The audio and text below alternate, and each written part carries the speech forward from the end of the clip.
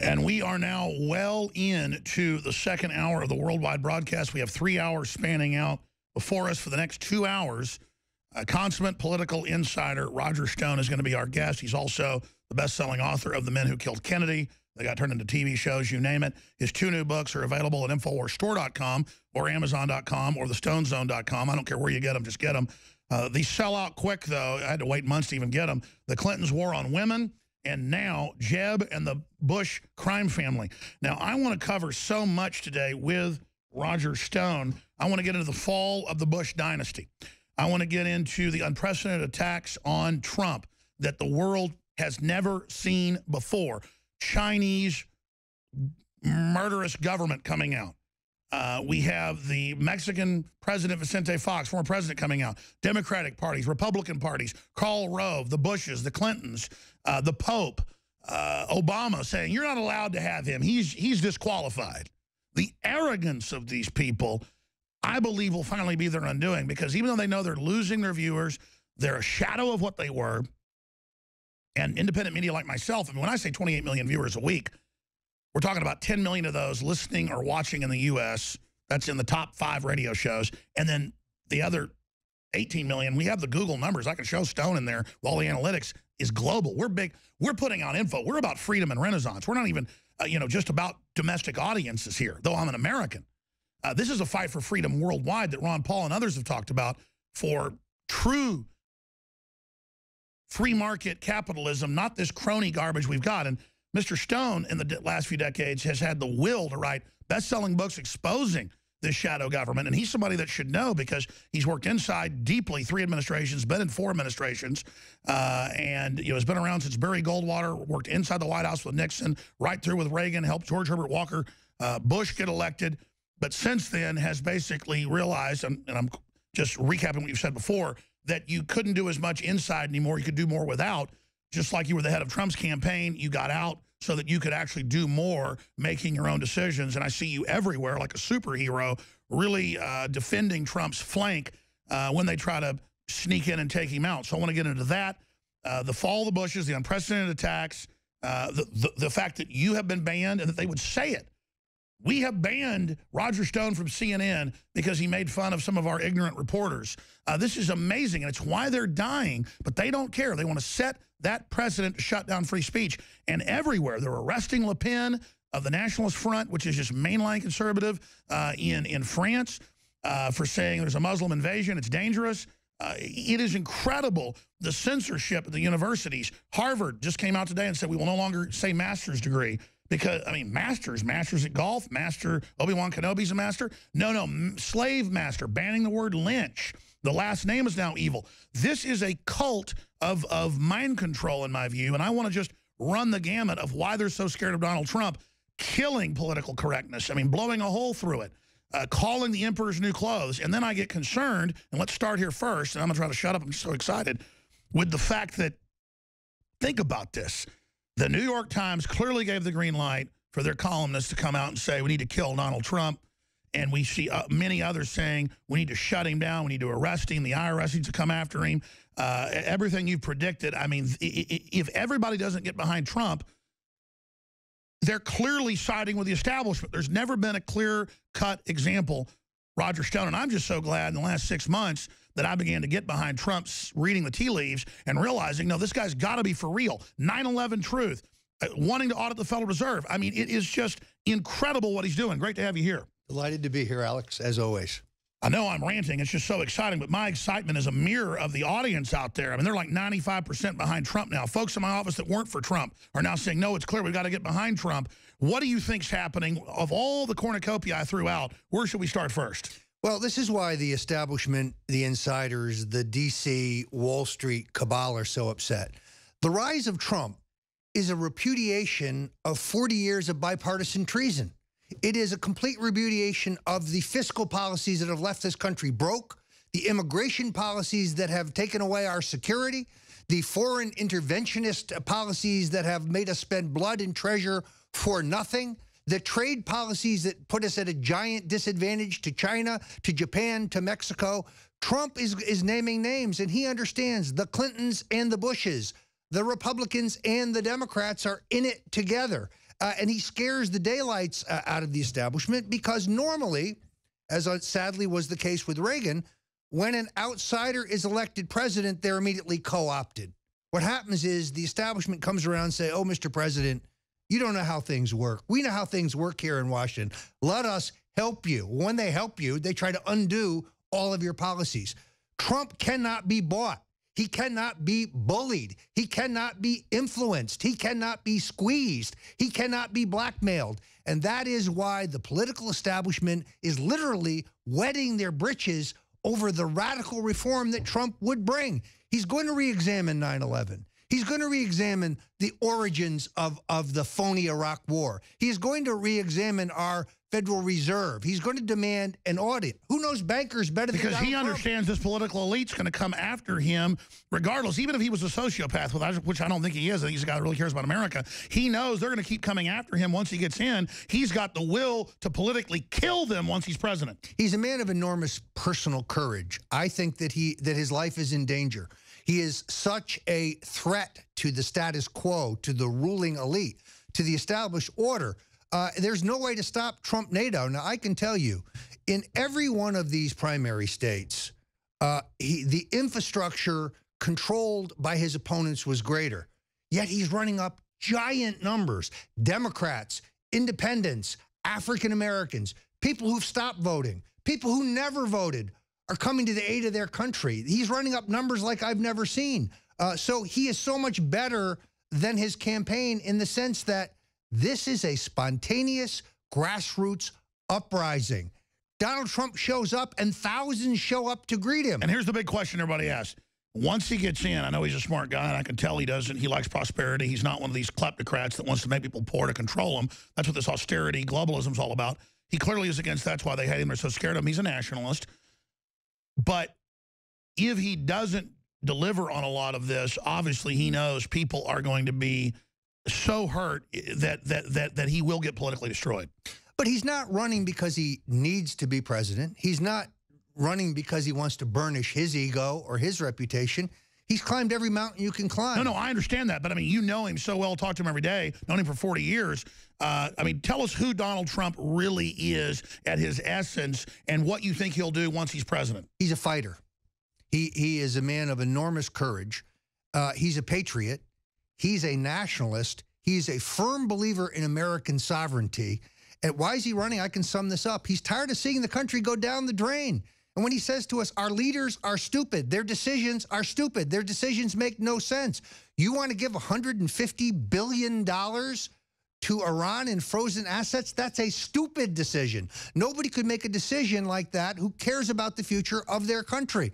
So Trump is giving up Alex, an incredible lifestyle. He's got a great family. He's making himself a major target. There's no question. A and he's working very hard. I, I, I, dare say it's been a long time since he's seen a golf course. This guy loves to play golf as a form of relaxation, as a form of focus. Uh, but he's working harder than those who know him ever believed he would work because he sees the future of America in the balance and he sure. understands this is it. This is the moment. We either save our country, take it back, and restore its greatness, or we step into a thousand years of darkness.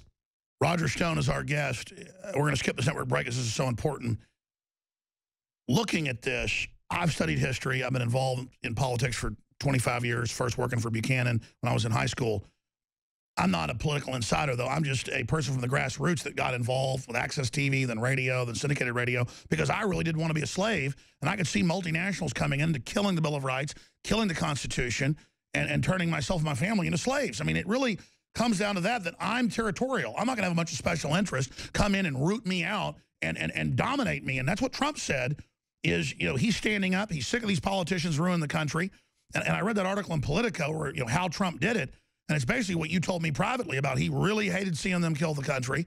He, he met years ago thinking about doing this. He almost didn't do it. But now that he's in it, he said this. He realizes he'll be pretty much, his name's going to be hurt. He'll pretty much have to retire if he doesn't win this. And to, and to see him not bought, not controlled, it's like the return of a man. Because not since Reagan have we had somebody that you know wasn't totally controlled by this political class. They hate Trump because he's not paying money for all the ads. He's not hiring all the consultants. This guy, as Chris Christie just said an hour ago endorsing him, has rewritten the political playbook. It's seismic. I mean, I get goosebumps because, and I rarely do, because this is so epic. I don't think viewers and listeners understand. There's no doubt now, whether Trump was for real or not, I, and I know he's for real in my gut, and I can see it politically. He's breaking all the taboos. He is wrecking the insiders. He is changing the system forever. And it's just a manifestation, as you said, of the larger uh, political uprising of populism. And Fox News is the worst now. And I know you go on Megyn Kelly, and there's some nice folks over there, but Fox News has this talking point. Oh, I know. It's just it's just poor white people and, and, and racist whites. I mean, it's like MSNBC now, and they're just putting it out that – you know, Trump's really a Democrat and, oh, it's racist and all this because it's whites that feel like they're getting poor when his campaign isn't about race. It's the, It is so sick. Do you think that that tactic will fail? Well, uh, frankly, there are far more egregious offenders than Fox. I've got to say a word in defense of Fox because uh, because Bill O'Reilly Sean Hannity. Oh, Sean Hannity's good on it. These yeah. guys have given Trump uh, his fair uh, shake, and that he and his point of view is at least reflected. Even though there's orders coming down probably from Murdoch to. Well, compare that to CNN, which is the Clinton News Network. Uh, uh All I'm saying is, shouldn't Fox be more supportive of a populist conservative? I think they are supportive of okay, him. Okay, good. I, I, do think he gets access, and he gets his chance to to to uh, to uh, lay out his case to the American people. So I, I am not a critic of Fox, but I'll say this: I am a critic of CNN. Now, it's very interesting. Alex, I went back and had to look. Since August of last year, I've either been on Fox Business or the Fox News channel to talk on behalf of Trump, to defend Trump, to stand up for Trump 49 times. I have been on CNN exactly three times since August. So I get your point. They yesterday announced that I am banned. Banned from what? Banned from something I was never admitted to? This gets even more comical. MSNBC, under pressure from Media Matters from America, this uh, group of twisted freaks who are Clinton apologists, who the Clintons can do no wrong, first they demand I be banned at CNN, where I was never admitted. Now MSNBC, where I have not appeared once this year and appeared once last year. They've banned me. How do you ban someone who's never been admitted to so, begin with. So, so, why are they announcing it? Just to set the precedent for banning people? Well, because they know I have the goods on the Bushes and the Clintons. Because they know, as someone who was an insider for 40 years, who someone who was uh, in the service of three American presidents, who worked on nine Republican presidential campaigns, as someone who worked in the U.S. Senate as an assistant to Senator Bob Dole, a patriot, as someone who worked in the U.S. House as an assistant to Congressman Bob Steele, who was a member of the House Budget Committee, they know that I've seen the inside workings of the establishment. They know I have the goods on Hillary Clinton. They know that I'm well aware of the fact that her husband is a sexual predator who has attacked multiple women, but more importantly, that Hillary has been an accessory after the fact in every one of those sex crimes. Uh, they know that I'm well aware of Bill's abandoned mixed-race son, Danny Williams, who they threw away like a piece of trash and who they doctored up a phony DNA test. They know that I have the keys to defeating the Clintons, and therefore Stone must be discredited. We must discredit him because he knows too much. Well, um, now to your point, you're you're right about Fox. I would just expect them. I mean, obviously they're not as bad as CNN or MSNBC. I would just expect them with a patriot like this, a clear winner, uh, not to do the little jabs and stuff. So that's why I'm upset with but Fox. at least they're they're a real news network. When they say fair and balanced, they are fair and balanced. And many. So I get it. That's why they have some ma folks many, attacking Trump. Many of many of the talking heads there, who I know privately, personally, very pro-Trump and not afraid to say so. And they let Trump and the Trump campaign get its fair share. Well, let's talk numbers then. Super Tuesday. What do you expect to happen? What's a big win versus something that isn't as good a win? What, what do you really think is about to happen? I still think Trump is on his uh, is on track to win big because this is a natural phenomena. It's not about paid television commercials. It's not about phone banks. It's not about the party organization and who's endorsed by who. This is a citizen uprising, uh, and all the polls have been wrong. Donald Trump has always outperformed the polls. He actually runs ahead of where the polls say they're going to run. So uh, here's the bad news for the Republican establishment. They have always assumed that as this field winnowed down, as the Chris Christie's got out of the race, uh, as Jeb Bush got out of the race, as the race uh, boiled down to two candidates or three candidates, that the all the establishment voters would galvanize behind the establishment candidate and Trump could be defeated. Here's what they didn't count on. Trump is bringing in thousands of new people, young people, disaffected people. It's populism. That's what they're right. scared of. It's Andrew Jackson style populism. And ironically, the establishment never liked, liked Jackson. You know why? He was so crude. He was so blunt. He was so plain spoken. He was so uncultured. He was so, uh, so, he was a truth teller of his time, and he and he denounced the big banks. He denounced federal control by the big banks. Does this sound familiar? Donald Trump may be the greatest American hero since Andrew Jackson. I, I was about to say, if he gets elected and actually delivers on 20% of what he says he'll do, because obviously he can't do everything. He, he's not a dictator. He'll be as big as George Washington. And I think I think Trump realizes that, but you know him well, that if he can be the guy that's the turnaround expert for America and the and the, and the brand Americana, that he'll be who John Wayne wishes he was. And I only think, in all honesty, that it'll take one term. He only wants one term because he's going to bring such broad change to the country. Let's take the wall. Donald Trump knows from an engineering point of view, from a construction point of view, that the wall can be built. The Mexicans say they're not going to pay for it. Donald Trump's well aware of the fact that the Mexican government is laundering millions of dollars uh, in drug money. They are billions. the central bank, billions. They are the central bankers for the cartels. So he will be indicting Mexican uh, national figures. You're, we'll, yeah, we'll have a war because we're going to make them obey the law. And, and Donald Trump will make the Mexicans stop importing billions of dollars into our country in drugs that are destroying our inner cities, that are killing our young people. Well, there's a lot of other pressure also that can be done because there's so many subsidies, billions a year sitting down there just to quote, fight the drug war. Uh, so, I mean, there's so much leverage. Mexico is basically totally dependent on the U.S. And so for people to say it's crazy he's going to make them pay for a wall, uh, I mean, Trump, I believe, will actually try to get that done. But, but what I like is him coming out and saying, audit the Fed. You were on a few days before he came out with those tweets and was that just spontaneous that he did that, or, or had you been talking to him? Who who understands bankers better than Donald Trump? Donald Trump understands the banker mentality. He's taken more bankers to the cleaner than any businessman in the country. He understands how they operate, and he wants to know what's happening at the Fed. He wants to understand the Fed's role in, in our economy. Look, I worked in the Senate. I worked in the House. I worked on the budgeting process. There's billions of dollars of fraud and waste in our in our in our federal budget. But the reason that everybody in the political class always talks about cutting it but never really cuts it is because every one of those dollars has been put there by somebody, somebody powerful, some senator, some congressman, some special. And that's why they're scared to death is he might actually cut that off. He is going to take an axe to federal spending. Look at the way he runs his own companies. He runs a very tight ship. He wastes not And folks shouldn't be scared because then all that money will just stay with taxpayers and go where you want it going to innovation, going to choices you've made, going to competition, it'll explode. Not a dollar that we're talking about is helping the American people in any way. It's only helping special interests. So now, finally, you have a, we would have a president with the guts and the fortitude and the knowledge and the green eye shade to really cut federal spending, which, as you know, between that and Trump's incredibly dynamic uh, tax reform plan,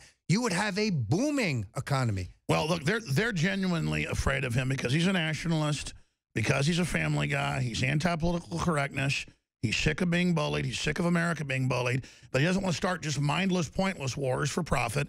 He's just good on every point. I mean, it's really amazing to have somebody this good, and that's why they're so scared. When we come back, Mr. Stone, I want to go through strategies, what my listeners all over the country and people all over the world, quite frankly, can do to help get Donald Trump elected and, and also the new attacks you're expecting, all this garbage about his tax returns. I think that's a really good point for him to make that not just say maybe I'm being persecuted by the IRS. If he gets audited all the time, it's obvious he's being persecuted. Yes. Uh, and, and so is Carson. People are so sick of the IRS. And, and so if they think they're going to bring out his taxes and demonize him over something, I think that's going to backfire. It seems like their instincts are really turning against him. And then the fall of the House of Bush. Have we now seen it? And was it Donald Trump bringing up the 28 pages that did it? Because obviously it is, folks. And again, that's another reason to just say, I'm all in for Donald J. Trump. Stay with us. All right, Mr. Stone's going to be with us all the way to the end of the next hour. And next hour, I'm going to open the phones up uh, for first-time callers that have a specific question for Mr. Stone. uh, huge Trump insider, former head of his campaign. And also, if you disagree with Trump, you're welcome to call in as well. Uh, so I'm going to go ahead and give the number out now. It'll be about 30 minutes till we go to your calls. 800 259 9231. 800 259 9231. Now, I've been kind of ranting and asking my questions. He's got a bunch of points he wants to get into. The real plan to steal the election from Trump, but sunshine can stop it. Then the fall of the House of Bush. That's kind of old news now, but I want to do a post-mortem on it because it shows where the whole power structure is going if they don't get smart and stop cannibalizing the golden goose. That's all coming up. Uh, his two books are available at InfoWarsStore.com, The Clintons' War on Women, and Jeb and the Bush Crime Family. And this is the guy, uh, to a great extent, advising Donald Trump. Uh, and, and, and so that obviously is another reason the power structure is so scared. And you noticed whenever Stone was in here four or five months ago, he said, watch, Trump is going to go after the Bush crime family. He's going to go after Clinton for the raping and her covering it up. And he did it all. So we literally are talking to the Trump insider here right now. It's so exciting. The establishment media is tearing their hair out about this. He's going to be speaking tomorrow night. I will have a camera crew there covering it. I don't want to say I'm going to show up and, and, and you know get in the way, but I might pop in towards the end. Uh, at Brave New Books in downtown Austin, down by UT, at Guadalupe. I want to try to get him to speak at UT. I spoke there and they filled the whole hall, 2,000 people. Uh, but believe me, you'll want to get there early because about 100 people can get into the downstairs area, about 100 upstairs. So you'll get to meet him regardless, and they'll have lines around the building, uh, believe me. But that is 7 o'clock tomorrow on Saturday, Brave New Books. And we're going to shoot his speech and then air excerpts of it because everything he says is so good uh, on the Sunday show that I'll be hosting 4 to 6 p.m. Central Standard Time. But I'm definitely going to send a crew down there and do a Facebook mentions during his speech. That'll get millions of views. And I'm going to do a Periscope down there the issue is his Facebook mentions is supposed to be personal. That's why I may be in the parking lot and start the video and then send it in and not go in. I mean, I want to be there, but again, it turns into a circus. So that's tomorrow night, Brave New Books, downtown uh, Austin, Texas. Be sure and be there. And, and then we'll talk to folks, uh, obviously, live on Facebook mentions uh, and more who want to uh, make their comments as well. We're going to go for a few hours tomorrow night because this is a really important event. I'm told a lot of newspapers and TV are going to be there covering it as well.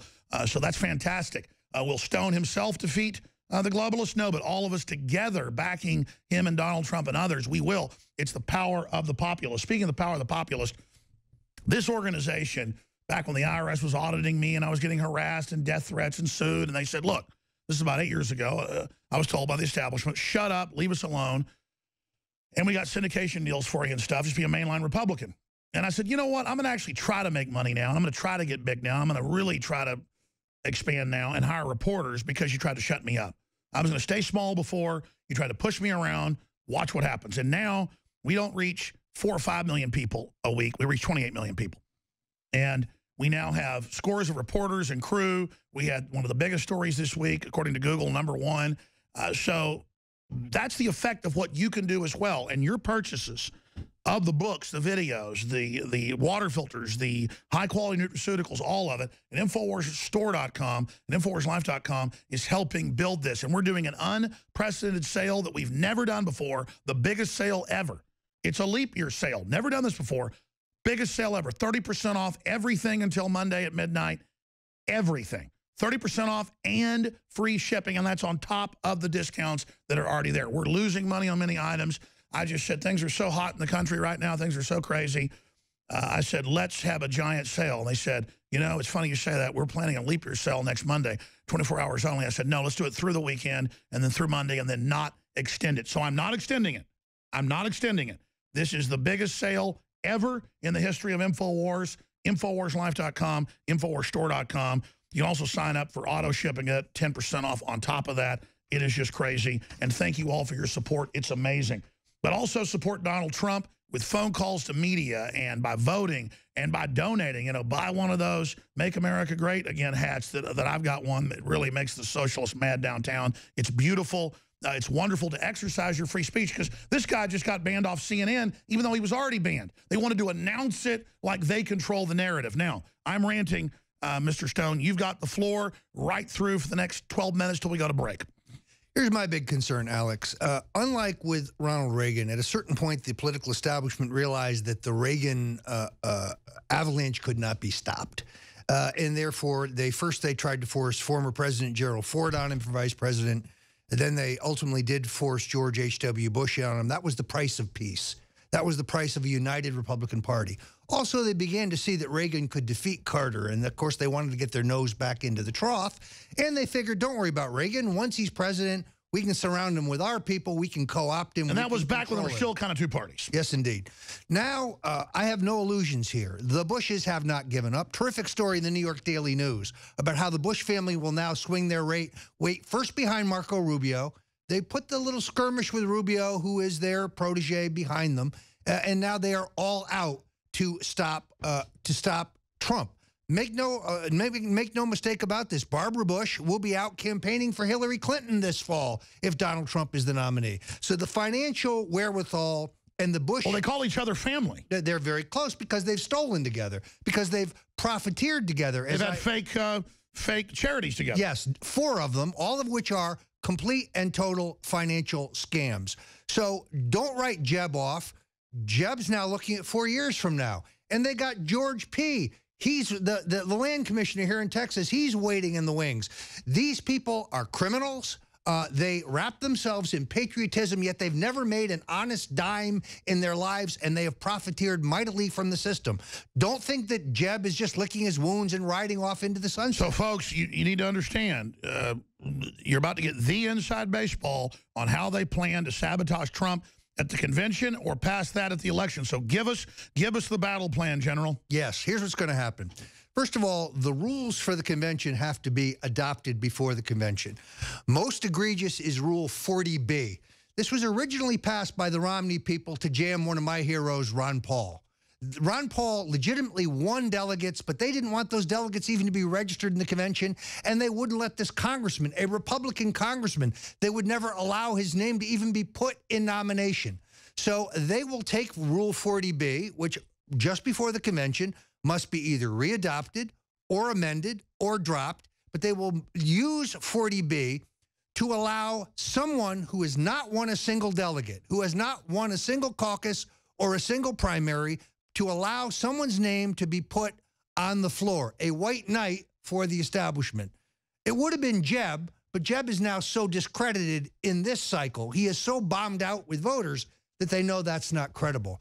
That's why Mitt Romney is all dressed up and ready to go. That's why Mitt Romney was viciously attacking Donald Trump on Twitter last night all through the debate. Mitt Romney is their, he's their horse. He's the horse they have on the sidelines waiting to bring him in. Now, to explain how that happens, the, the Democrats have their super delegate. The Republicans have something similar. If they if, if Trump doesn't get the certain number when they go the first round uh, there at the convention, when the people pledge their delegates? Yes. So are they planning to try to force Romney completely in or make him VP? Here's, here's the steps that they would take. Number one, uh, they will take away the fact that delegates are bound on the first delegate, uh, on the first ballot. Oh. Let's take New York, for example.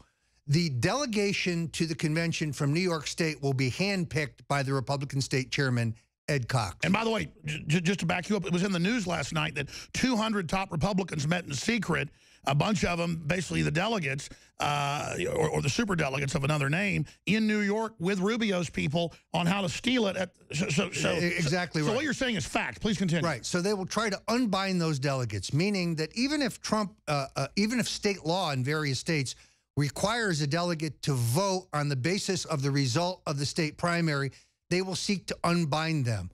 Alternatively, they stall Trump short of victory on the first ballot because then on the second ballot, all of the binding is gone. So even though I expect Donald Trump to triumph in the New York primary, where his campaign is being run by one of the great organizers and rabble-rousers of all time, my friend Carl Paladino, and where they will thrash the establishment upstate, downstate, on Long Island, in the New York suburbs. The will of the voters can be undone by these convention rules. Now, what I have done is start to reach out to some of my old associates, some of them going back to the Goldwater campaign, some of them going back to the Reagan campaign, to pull together some of the best convention operatives in America today. We have set up a fund to pay for their travel, to pay for their hotel rooms, to bring them to to uh, to Cleveland to avoid the steal. You can go to stopthesteal.com right now if you want to make a contribution. So I should have said from the beginning, we're launching a major move to stop them stealing the will of the voters. This is how elections are really won, folks. And what we need is the pros. We need the people who know these these these rules and they know the ropes. Here's what I do know. The Bush people have manipulated the convention rules since the 80s, and they know the inside game, and they're prepared to, to, to play the inside game. As you point out, there's 150 super delegates. The super delegates are Republican National Committee members and state chairs. Very few Donald Trump votes within that group. So if you do the math, Trump doesn't have to win 50% of the delegates up for grabs in the primaries and caucuses. He's got to win 54%. Otherwise, he's short of the magic number, and that's what they seek to so do. So we need a landslide, folks, to, to, to override this. Absolutely. And in all honesty, at this point, Ben Carson, who I do think is a patriot, Ted Cruz, who I don't think is a patriot, Ted Cruz, whose wife Heidi was Condoleezza uh, Rice's deputy when they started the Iraq War. Then she went over to the U.S. Trade Representative. Uh, he, he, he, is a Herbert Walker Bush minion protege. No, no question. He, this is where he came from it, Trump actually uh, uh, understated the case last night.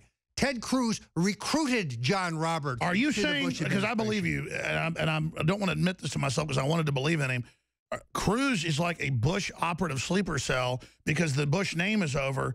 He literally is a sleeper cell unless he's turned against him. Uh, but, but, but he was put in power by them as, I guess, a Tea Party takeover artist do you think he's turning against him, or is he a full operative, a no, double agent? Well, uh, at a minimum, I think he's a Trojan horse.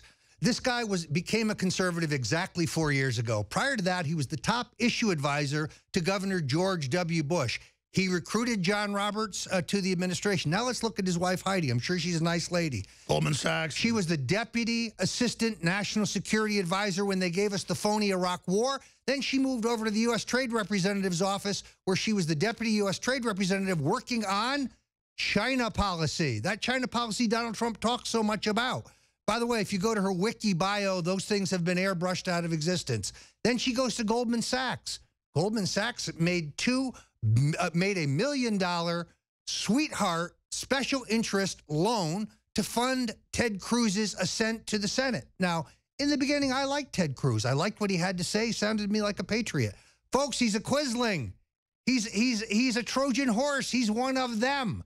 Uh, and uh, he, too, plays a role in this effort to block Donald Trump.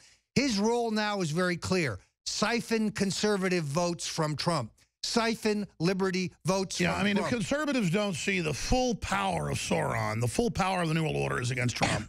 this is not a ruse. It's real. He's causing irrevocable damage to him. If people don't get behind Trump, uh, Hillary will destroy a Cruz or a Rubio. Rubio is obviously a ringer. You know, they're waiting to make him president down the road. Uh, if you don't get behind Trump, you're totally insane. And Alex, I know this is an absolute fact. At this very moment, Ted Cruz is trying to broker a deal with Marco Rubio in which he will continue to damage Trump in return for a Supreme Court seat. That's what he wants. So he's not only an oily lawyer, a slick operator, I like to call him Tricky Ted. Uh, this, this string of sophomoric dirty tricks is beyond anything that I've seen, and I believe in hardboard politics. I get it. But, yeah, they call you super dirty trickster, but I looked at the stuff you did. None of that was dirty. Well, first of all, it was all legal, uh, and politics ain't beanbag. But that's not the same thing as as sending threatening letters to voters to make them vote or spreading a false rumor on CNN that Ben Carson, a patriot, is getting out of the race and then contacting Carson voters to tell them the latest. Oh, did you hear? Ben's getting out of the race. Switch your vote to Ted Cruz. Now, doctoring pictures of Barack Obama and Marco Rubio shaking hands, Last time I saw that was in 1950 when Joe McCarthy doctored pictures of the liberal senator from Maryland, Millard Tydings, shaking hands with the president of the U.S. Communist Party, Earl Broward, which blew, Browder, which blew Tydings out of the Senate. That's a dirty trick. So we need a tsunami, but if we don't get the total tsunami because of stuff going on in the states, it looks like that's where it's going now. Uh, and how do we stop them there on the floor by, by putting Patriot operatives in to basically be there from the beginning saying, we're watching for it, we know it's coming, so that if they even try it, it blows up in their face because this isn't past years when folks were asleep. If they try to steal this from the people, uh, I think there'll be civil unrest. Well, that's why I've had to reach out to a number of veteran conservative operatives, people who know the rules as well as the Bushes, We're not without assets. We're not without solid delegations. We should bring everybody. Pat, Pat Buchanan, I know, supporting Trump. We ought to yes. bring him down to the floor. Absolutely. We need to bring all these titans in. That's exactly why we have set up stopthesteal.com. I'm going to. We need to get Matt Drudge, obviously, who likes Trump and loves Trump. You know, he, will be involved watching for the steal. Yeah. So I think that the, the, you know, just like anything else, you shed light on the cockroaches, and the cockroaches will scramble. We're going to have to shed light on what they have in mind. Terrific piece in the Daily Beast the other day. They blurted it out. Yes, they're playing for the brokered convention. Who who emerges? Is it Mitt Romney? Is it Marco Rubio? Is it John Kasich? I think they've given up on Jeb. But after this spectacle of Trump and he's the winner, if they don't give it to him, the public's finally going to get it. And I, I, mean, this is incredible. But on the one hand, you could say the party nomination would be worth nothing if they steal it from Trump. On the other hand, the insiders don't care about that. Exactly, because they got Hillary already. This is epic. This is epic. By the way, folks, we're teleprompter free here, TV slash radio.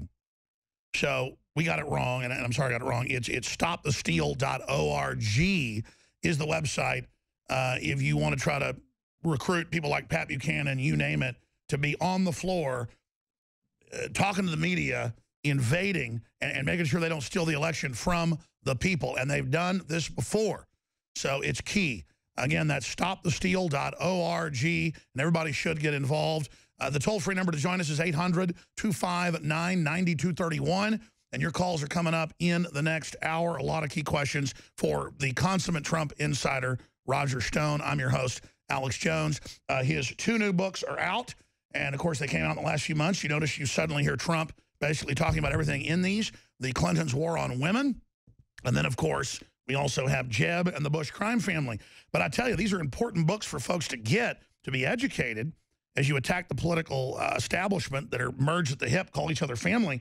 But to a great extent, I mean, let's just say it. You have been, and I, folks, I don't just say stuff. Everybody knows that.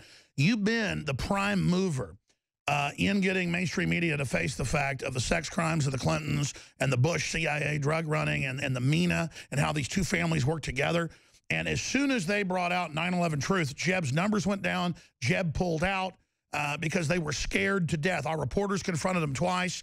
Uh, and they try to call it a conspiracy theory. His numbers only went up. There are 28 pages. We did attack the wrong country. What do you have to say about the whole Bush dynasty and where all this is going?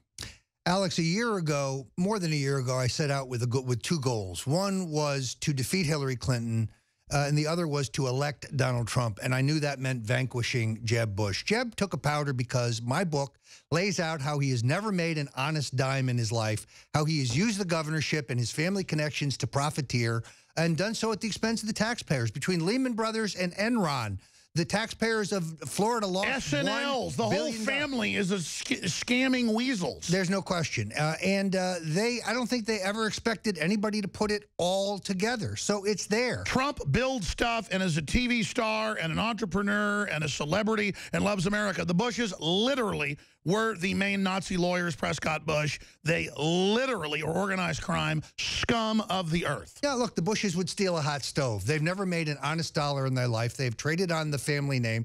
This is a classic deal. You go to an S&L. You take out a fraudulent loan that you know you're never going to honor. Then you take the money from the loan. You short the stock in the bank. Then the bank falls and you cash in, leaving the taxpayers holding the bag. That's what Neil Bush did. That's what Marvin Bush did. That's what Jeb Bush did. Jeb works with third world African dictators. Well, look, the guy got a $4 million personal taxpayer finance bailout when daddy was the vice president. He defrauded an S&L, brought her, brought Broward. And Donald Trump had the nerve to go up against a crime family nobody messes with. And I want to show this Zapruder film. And I don't say this to be theatrical. I said, well, let me tell you, they're looking at killing him and trying to figure it out. I mean, I know politics. They, they He's real. That's why I'm just, uh, I'm so behind him because he's in the arena, folks. And it's easy to sit here and bitch and complain because he's not perfect. That guy is in the arena against the globalists. You want it, you got it. That's what bunch of these questions are. You know, he's wearing a bulletproof vest the whole nine yards. I just pray to God nothing happens to him. Well, this is one of the key points last night, which is the IRS harassment now of Trump is an added dimension. I mean, not only are they out of control, but rather than yanking the tax status of the Clinton Foundation, where the Clinton Foundation filings and their state filings and their federal filings are completely and totally permeated with fraud, rather than going after the Clintons, what's the IRS doing? They're going after Donald Trump. They're harassing an honest businessman. I haven't seen his tax returns. I guarantee you this.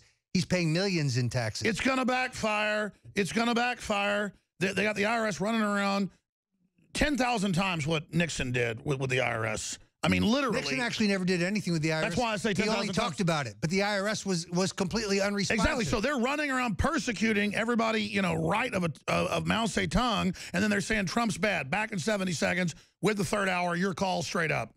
We are a resistance. The country got taken over by foreign interest and globalists. They brag about it. China says, hey, we'll tell you what movies you can put out. Mexican president says, you apologize to me. You're in a, you're, you're you filthy Americans. The Pope comes here and, and has 200-foot walls around his house, but, you know, we can't have walls.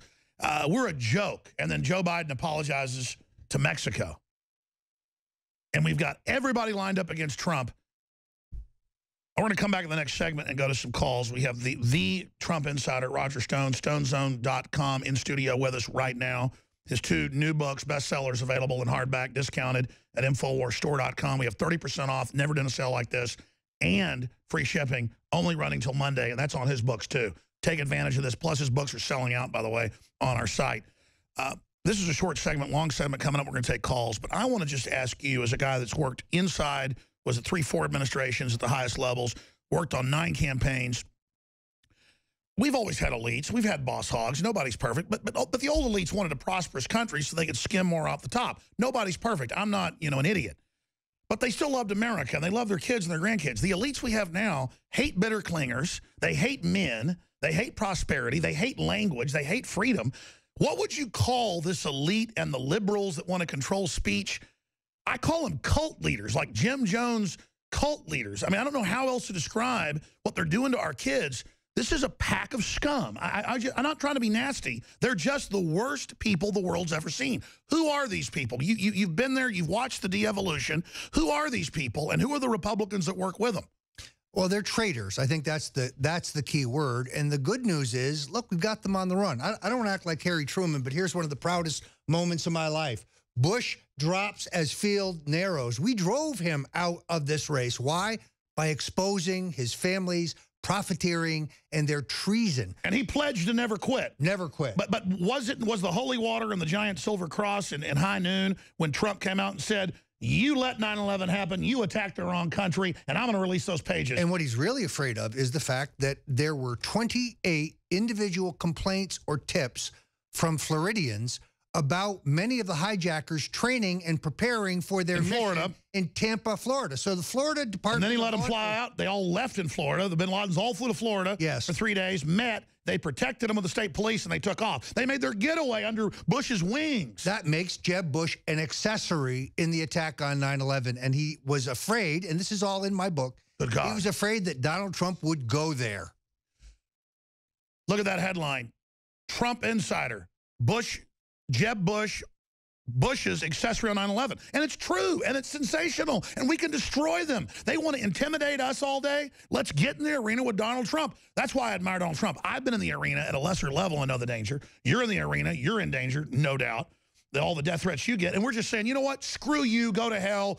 You want it, you got it, we're going up against you. Look, just last week, uh, a reporter who's a friend of mine asked Jeb Bush about my book, and he said, Roger Stone's crazy. Boy, they didn't think they, I was crazy when they asked me to go to Miami-Dade in 2000 and take care of the recount for them, which I did. By the way, greatest regard of my life. I remember seeing you on TV. I, I thought that he would actually be a compassionate conservative. I have to admit, until I began the research for my book on the Kennedy assassination, I never really realized how evil the Bushes were. I knew that they were self-dealers. I knew that they were crony capitalists. I knew they weren't conservatives. I'm from Connecticut. I fought them back in the day. I had no idea of the enormous scope of the theft and the evil. People say to me, how can you criticize George H.W. Bush? He's a war hero. Really? That's not what the guys on his plane say. The no, he punched out and let yeah, he punched out and let others die. So he no, stay there. This is epic. I want to come back and give you the floor to start back over with this without me interrupting and just get in because every time I, I mean, I knew who you were when I met you years ago, and obviously knew you were uh, high powered. But the more I researched you, you've been involved in everything. You're such an insider to now turn against him in the last decade. I can only salute Roger Stone for his courage, folks. They are scared to death of this man. We'll be right back. I'm Alex Jones, and they're scared of you too, the people. And we are back. That special report is really scary. Europe is now on the verge of collapse. France is saying that. Sweden is saying that. the highway system in France has over a million people living on the highways. This is mainstream news attacking people's cars and, and tourists and, and women and trucks. Go to YouTube and type in uh, um, Muslim migrants attack highways. And it, there's hundreds of videos where you see thousands of people pulling people out of their trucks, attacking them, just crazy stuff. And this is not your regular Muslim migrant, folks. These are people that invaded Syria, most of them. They got kicked out by the Russians. Now they're coming here. Plane loads come into the U.S. They don't even check their IDs. That's in the New York uh, Daily News. That's in the New York Post. And, no one gets in trouble. And then Donald Trump says we have to stop people coming in until they at least vet them. And then it's in the news. No, Obama won't even let governors know the names or the numbers. That th this is the suicide of the country, the suicide of Europe. Trump insider Roger Stone, I want to get back into the Bush crime family and recap what you were just breaking down and how big that is, and then I want to go to phone calls. But Donald Trump says the most common sense stuff you can imagine, and they turn it around and act like it's crazy. Yeah, they try to say that it's so simple. It's so simple. Wait, it is simple. We need to seal our borders. Look what's happening in Cologne. You've got these hordes of people raping, killing, taking over public facilities, defecating in a child's pool, uh, raping people in the in the in the uh, in the clubhouse in, in the, mass in, in mass. Uh, this is what we have to look forward to in this country unless we secure our borders. So the fact that Trump uh, it, it wants to make America safe again, not only great but safe again, driving the establishment and the globalists crazy because they see the hordes that are coming here. Only Trump will stop this. There's no American political figure and I hate it when Trump refers to himself as a politician. He's he's the anti-politician. He is not a politician. He's a leader, and he's the leader America needs right now. Well, he is the symbol now of nationalism. One of the few things I think he just gets a little wrong is this whole Apple thing. Because the FBI is like, can you just get in this one phone for us? Well, there isn't a program for that yet. They can go to the phone company and get all the records in the ISP. So I think it's, it's I mean, nobody's perfect. I, I just think he's a little wrong in that. He's right saying, hey, we know they're terrorists. We know they did this. Break into the phone. But they've misrepresented, the FBI has, what they're asking for, in my view. Well, is Donald Trump perfect? No, he's not perfect. I'm sure if I looked at it, I'd find some areas that we disagree on. But on the big picture issues. The establishment is scared white as a sheep. Yeah, because he will refire and revitalize our economy. He will rebuild our military. He will seal our borders. And we will finally have a foreign policy that makes sense. We keep switching sides. We end up facing down the, the guns that we gave people or sold people. Trump, Incredible. All he wants to do is restore common sense to government. You got cut off by the break. I want to go to phone calls. Again, Roger Stone's sure, our guest, StoneZone.com. I'm Alex Jones with Infowars.com.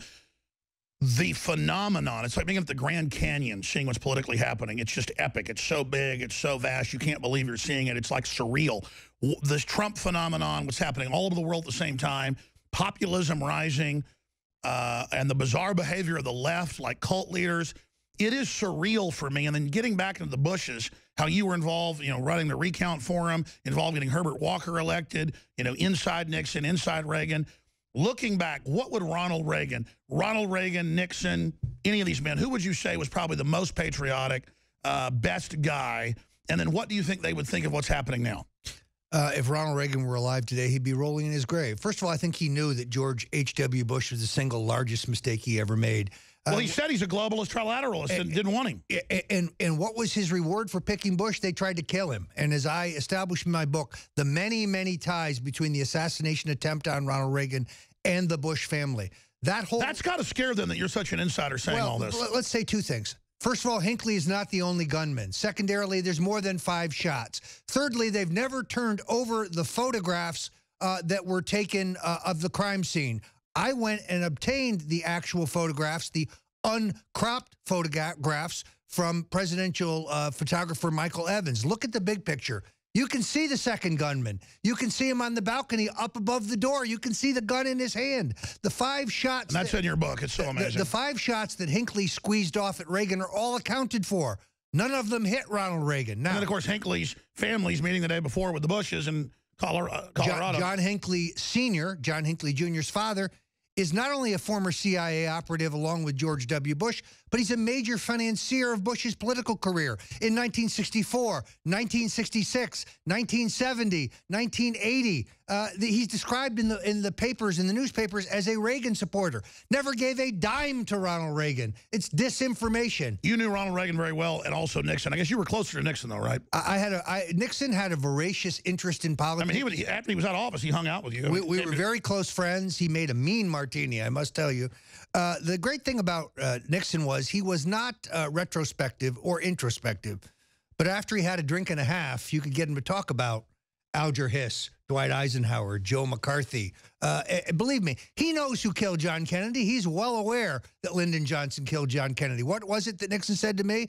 Lyndon and I both wanted to be president, he said. The difference was I wasn't willing to kill for it. He knows exactly who killed John Kennedy. Wow, and that's directly, you're well known to be very good friends with the late uh, Richard Nixon. Nixon wasn't perfect, but you look at the stuff he got in trouble for, having a hundred and something names of IRS stuff, not persecuting tens of thousands openly. Look, he made major mistakes. Taking us off the gold standard, major mistake. The war on drugs, major mistake. But he did believe in American sovereignty. He believed in American Is that power. why there was an internal coup to just weaken the presidency at that time? Sure, because you see, the the the war machine, the the internationalists thought that in the election of Nixon, we would be able to prolong the Vietnam War in order to make more money. But he ended it. They got a dove. This guy was interested in peace and prosperity. He, he was he was very cleverly playing the Russians and the Chinese off against each other. Uh, that's not what they expected. They expected a dupe. So, so he tried to be president, and that's why they got rid of him. He, he was a peacemaker. That's why they got rid of him. Now, that's not to say... That's why they don't want Trump, because he'd actually try to be president. Uh, and, and, he and he believes in American sovereignty. He's not prepared to And that's why we're in so much trouble. We're going to skip this break. I can't help it. That's why we're in so much trouble is that there's all these special interests who don't even have the same interest buying off chunks of everything, as you said. And so nothing seems to make sense or work because it only works for them to get more money. But there won't be anywhere to spend the money if we have war with Russia or you rob the middle class and the poor people and everything collapses. Then all your money's worthless, you morons. Exactly. The so, political class are a bunch of idiots. Wait till Trump starts talking about monetary policy because he believes in a strong dollar. He understands the, the currency manipulation going on by the Chinese. He would make a dollar as good as gold or some other commodity again. Let me ask you this question. He's a oh. Wharton graduate. Never think he doesn't understand the global and U.S. economy. And he's lived in the real world. Big difference. And had to put up with government regulation. Well, and he's not the toast of Wall Street. I'll tell you why. He made his money on bricks and mortar and land. He made his money in real estate, tangible, hard assets. Uh, uh, this is not a guy who played the stock market. And by the way, they, they put this lie out that he you know declared general bankruptcy. When I used to make a film, I'd get liability protection. I'd make a corporation. That's how you're supposed to do it. I'd put it out, and I never had to declare bankruptcy on that particular, but I knew folks that did. If it lost money, I would just roll it up because I had contracts to folks. That's what I had to do and shut it down. And that project's bankrupt. That's what every film in Hollywood does. That's But see, they know the general public hasn't actually worked in a bunch of businesses. They don't know that Trump didn't declare general bankruptcy. He didn't declare that article. He did it specifically on projects that didn't work. Well, and most specifically, uh, his casino empire, which was destroyed by the state of New Jersey, by government policy. They have no airport. There's no way to get there. Uh, their policies destroyed his business. So he used a legitimate business tactic. He filed for Chapter 11 to protect his employees, to protect his business interests. But the canard that Donald Trump personally filed for bankruptcy four times, that's a, an establishment lie promulgated again by Marco Rubio last night. Yeah, it's not general bankruptcy, it's specific company. Yeah, you know what? I want a president that smart. I want a president who will protect the American economy the way Donald Trump protected his businesses. Well, the globalists admit they went Cloward and Piven. They want us poor. Like Obama said, you can't have cars or air conditioning while he's on a jumbo jet. These people are, it'd be one thing if they were living in a shack saying we've all got to be poor for the earth. I'm not going to put up with these pigs telling me they're these loving socialists I mean, look what we've got. Uh, it's amazing. I want to go to phone calls here, but finishing up on the Bushes, you're saying, is the dynasty dead or, or, or, is it hanging on by its fingernails? Because the archetype of George Herbert Walker, the former CIA director, the guy involved in the Kennedy assassination, out there looking like he didn't know what planet he was on, I have respect for my elders. But at the same time, them rolling him out, was that indicative of the dying Bush dynasty? The Bush, the Bush dynasty is far from dead. These people, if they are nothing else, they're relentless. Look at it this way. George H.W. Bush ran for vice president in 1968, 1972, 1974, 1976, and then he finally got there in 1980. Now, Alex, no one runs for vice president. No one. Other than Lyndon Johnson. Why did he run? Because he wanted to take over. He had a plan. That's why his right hand man, Bobby Baker, says on the day John Kennedy is inaugurated, what does he say? John Kennedy will not fill out his term and he will die a violent death. And the Bushes sat at the knee of LBJ and the CIA and the opera run right here in Austin, this, this Texas. Is, this is precisely why the Bushes maneuvered relentlessly through the 60s and 70s and 80s well, for the I, vice president. I mean, I actually know folks, you know, let's just say Johnson family, some of the folks, and they, it's like well known. Of course, we, of course he was killed. And I know some of the big Republicans, and I've been on a plane with them before, uh, flying in and out of Dallas. There's like, of course we killed that son of a bitch. I mean, they all brag about it. Well, as you know, the KGB conducted their own independent investigation. J. Edgar Hoover says to Lyndon Johnson in a memo that was declassified in 1985, well, Mr. President, the Soviets did their own investigation. You know what they concluded? You did it. You did it, Mr. President. The French, they did their own investigation at the request of Jackie Kennedy. You know what they determined? Lyndon Johnson did it. Sure, the Central Intelligence Agency is involved. Sure, the mob was involved. Sure, Big Texas Oil was involved. That's who you always use. What's their common thread? Their common thread is Lyndon Baines Johnson. He, he was the mastermind. Absolutely. He was the indispensable. Well, I mean, I, have interviewed before she died. It was on uh, uh, his his uh, mistress. Yes. You know, they Madeline kept over Brown. there at the uh, at the cattleman's suite over at the Driskill. Yes. Nice place to stay, by the way. And boy, I tell you, I mean, he just walked right out and said, after tomorrow, that son of a bitch will never embarrass me again. He said it to her twice, actually. He said it the night before and the following morning. He said, after today, those Irish mafia sons of bitches won't be down on me anymore. So there, there's just no question. Remember, in 1963 in Texas, murder's a state crime. Who controls the Dallas police? Who controls the Dallas district attorney? Who has control of the investigation? Well, LBJ was just an open gangster. He was Dixie Mafia. Well, he was on the pad for the mob. He was being paid through a man named Jack Halfen, who he pardoned immediately after becoming president. Uh, he was. Oh, my grandmother knew him. He, he, he was a major water carrier for Big Texas Oil. And as far as the CIA is concerned, as the Senate majority leader, he has the authority to appoint himself to a committee. Now, the majority leader never serves on a committee of the U.S. Senate. But Johnson appointed himself to the subcommittee of the of the Defense Appropriations Committee that controlled the CIA budgets. He's the paymaster for the CIA. I, I want to go to calls, but I got a question for you later. Uh, all these top generals, every special forces person I meet, including officers, they all say there's a counter coup in the government against Obama and the globalist takedown of America. They're all behind Trump. They say he's for real. That's got to scare the power structure that the guys that actually do the hanging are saying they're not going to play ball with going after Trump or anybody. I think that's exactly true. The, the, look, they're losing their control. That's why they're in a panic. That, that's why I'm being banned by CNN. It's why I'm being banned by MSNBC. Both laughable because they very rarely interviewed me to begin with. Uh, and their audiences are very small. And because they know that the truth uh, it, uh, is, is dangerous to them. Look, everything you need to know to defeat Hillary Clinton is in my book. The epic uh, rape by Bill, the cover up by Hillary, uh, the Clintons' abandoned son, their African American son, who they threw away. And like to know how they work garbage. with the Bushes, you, both books dovetail together. I've read them both. They're unbelievable pieces of history. Infowarsstore.com to get those because I'm an expert on all this stuff. And I'd forgotten so much was in these books and even learned more. Uh, it's simply amazing. And I even had family down here in Texas when a lot of this was going on uh, that was involved in different agencies and things, and they just say this stuff is dead on, ladies and gentlemen. All right, InfoWarsStore.com. I want to start going to calls. I appreciate everybody holding. Doug, Sean, Kristen, Alex, Tommy. Uh, who should I go to first? Who's been holding the longest here, Harmon? All right, Alex. We're going to go to Alex in California. Alex, you're on the air. Hi, Alex. How you doing? Um, appreciate your show. And just a little bit of background. I'm a freelance writer and journalist reporter from the LA area. In 2008, I covered a story that was featured in your uh, police state film. It was about the DUI checkpoint in San Bernardino that they did where their, their Marines were there. So uh, I just want to say, you know, I believe a lot of what you're saying. I really do. Uh, you're the journalist I had on about the Marines running the armed checkpoints in California. Is that what you're saying? Yeah, in 2000. It was I remember you. How are you doing? I remember your voice. Nine. Sure. So what's your question or comment for Stone? Well, I have a question and comment. Kind of first, I just want to say to uh, Roger Stone, you know, even though I believe a lot of what you guys are saying about Trump, um, there's a couple things I find problematic, and uh, I really wanted to get your thinking. Sure, get it out there, brother. Lay it on me. It.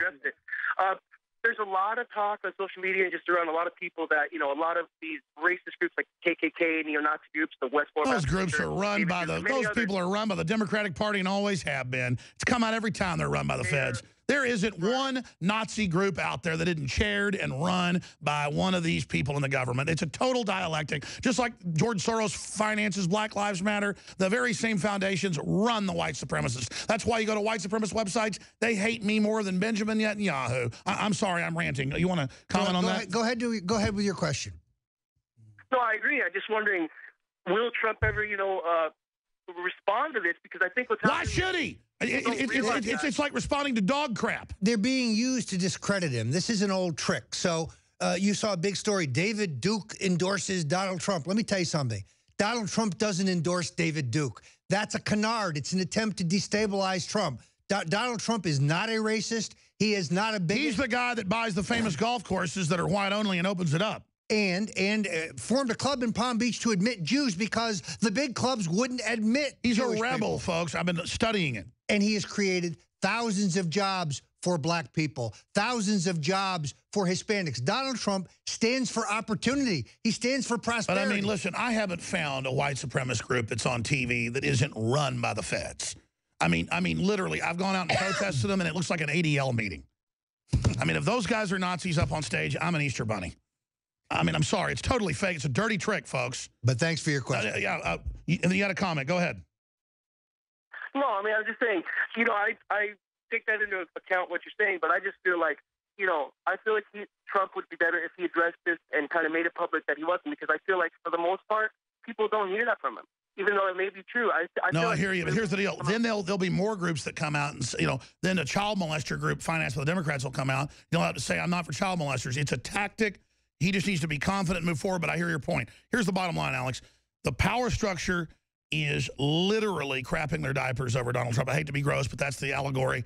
That's why they're so scared. And he's talking about 9/11 truth, audit the Federal Reserve, don't let mega corporations be tax exempt, have national sovereignty, anti-globalism, don't have war with Russia, don't fund and run ISIS, on and on and on, cut taxes on poor people. Make the hedge fund uh, operators pay their. Absolutely. We'll be back with more calls with Roger Stone. And we are back with Roger Stone, stonezone.com. We sell both of his books at InfoWarsStore.com. And by the way, we have 30% off, uh, leap year special running till Monday. We've never done a sale this big. And free shipping on top of 30% off. And that's on top of the discounts that are already there.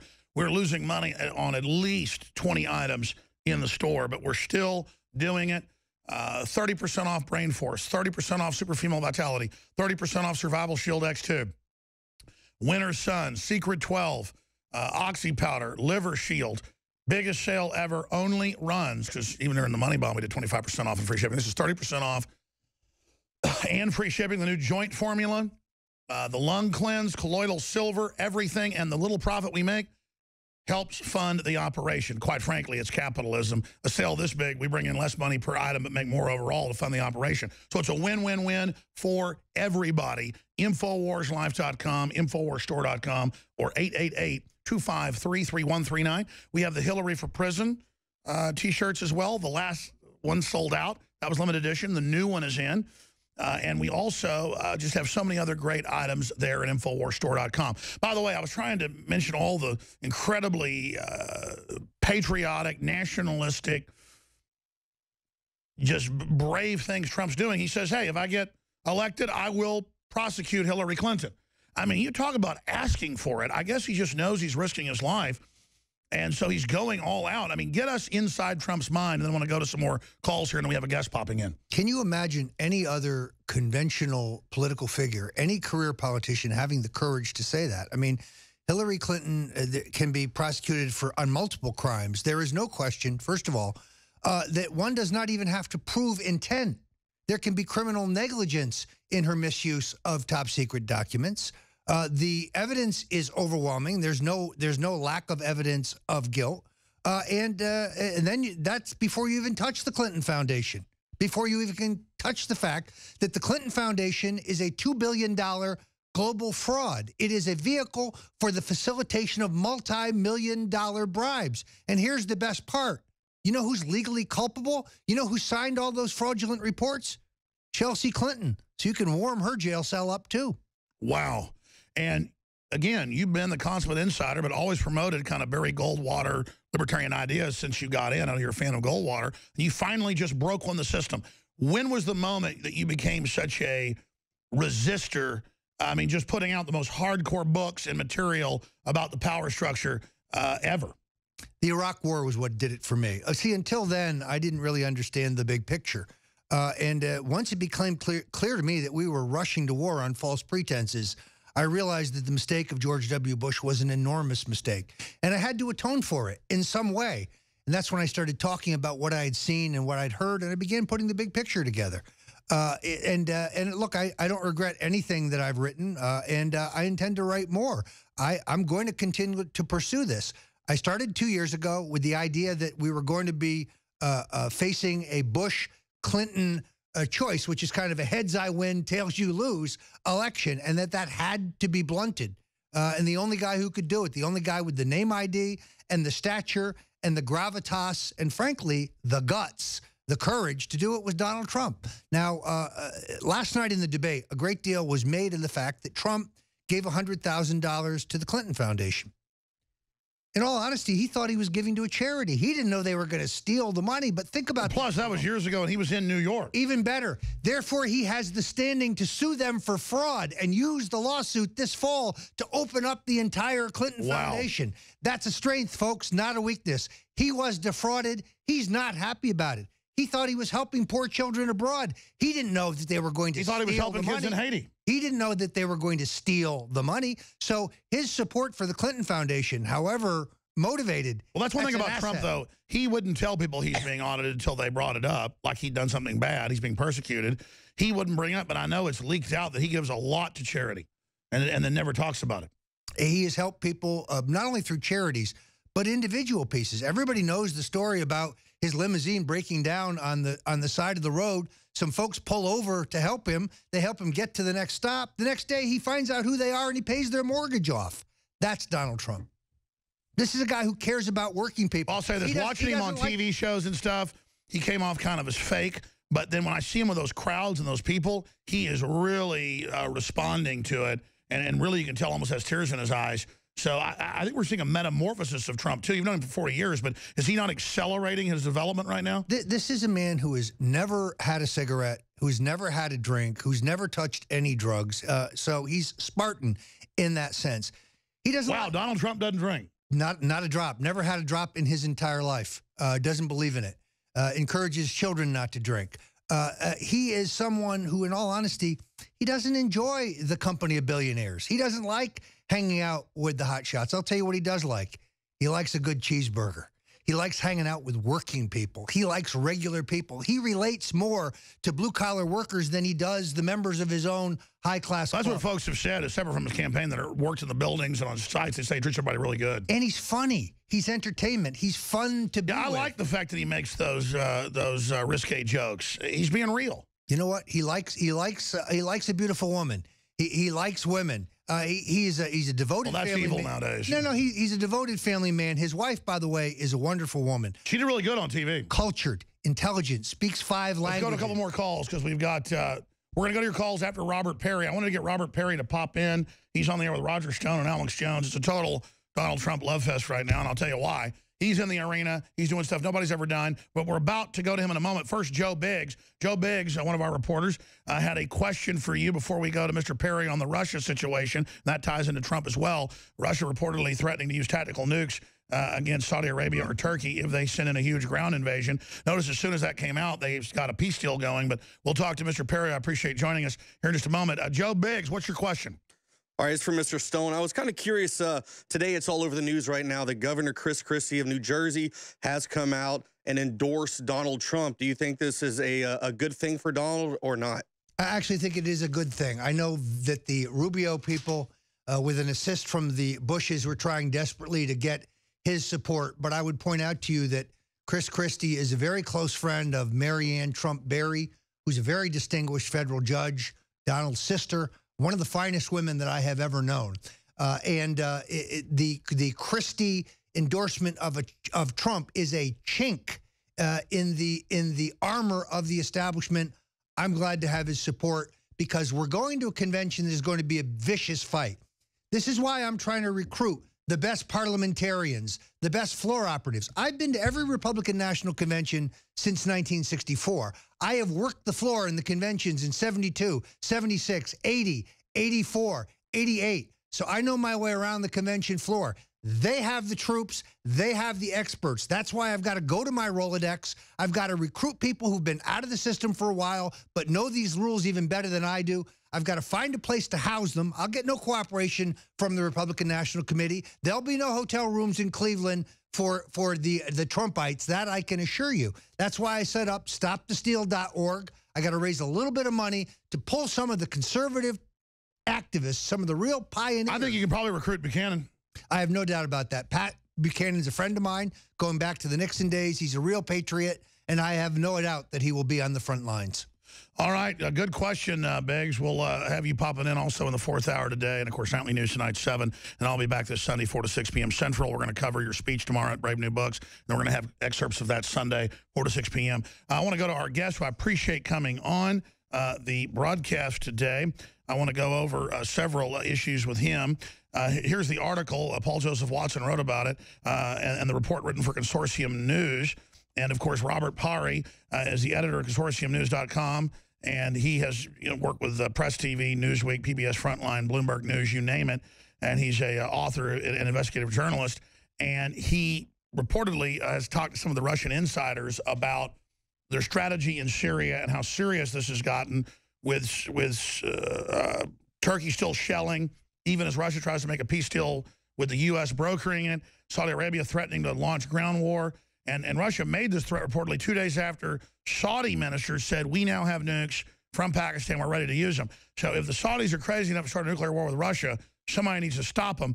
Uh, but, uh, of course, um, Mr. Parry also helped expose Iran-Contra and a lot more. So he's been an investigative journalist for a long time. Robert, thanks for coming on. You're on with Roger Stone uh, former head of the Trump campaign, who obviously Trump is against war with Russia and what's happening in Syria. So we appreciate you coming on. Uh, what did this Russian insider specifically tell you, and what's changed since a week ago with the Russians wanting a peace deal? Uh, is that because they're concerned about Saudi Arabia? Well, thanks, Alex. Thanks for having me. It's, it's good to hear Roger too. Um, well, basically, the uh, I was the, this this source who was close to uh, uh, Putin told me at this point when things were at a crisis stage, uh, Turkey had been was threatening to do a full-scale invasion of Syria. Um, the Saudis had, had, were were also eager to go in and join them, uh, and they wanted the United States to be part of this invasion.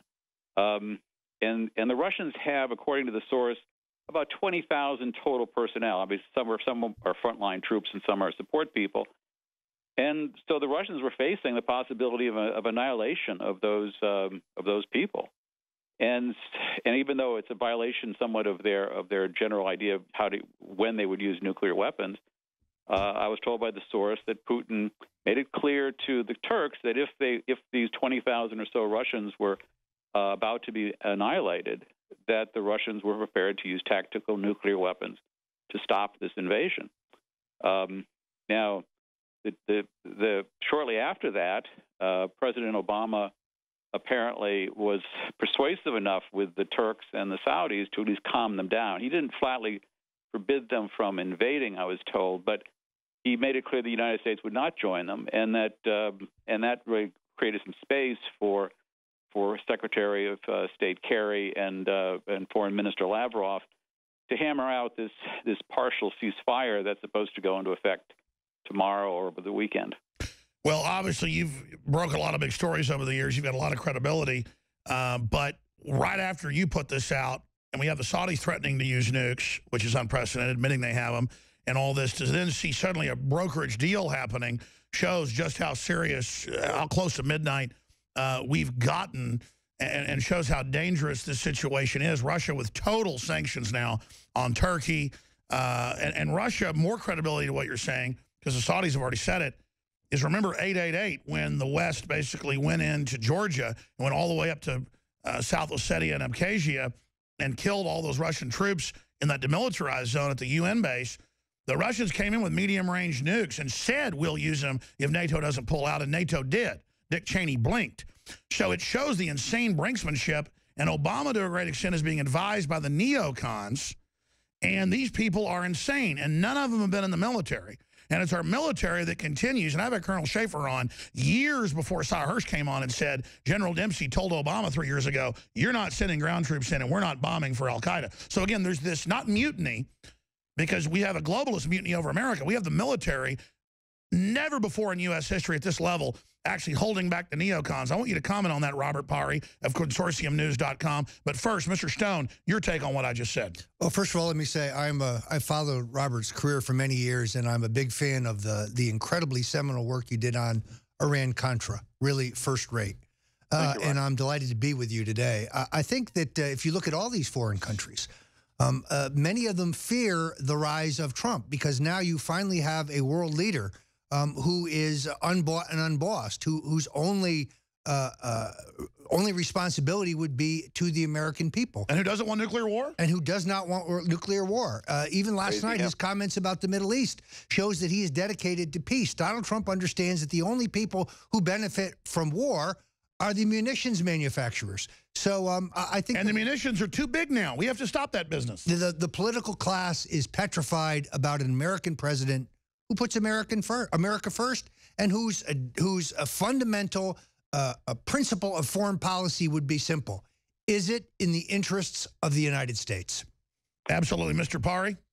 In that sense, as Roger points out, uh, Trump is really sort of a realist, uh, and realists have become uh, um, um, an endangered species in Washington, where the neoconservatives and the liberal interventionist uh, sidekicks that they have have essentially taken over the uh, the establishment on foreign policy.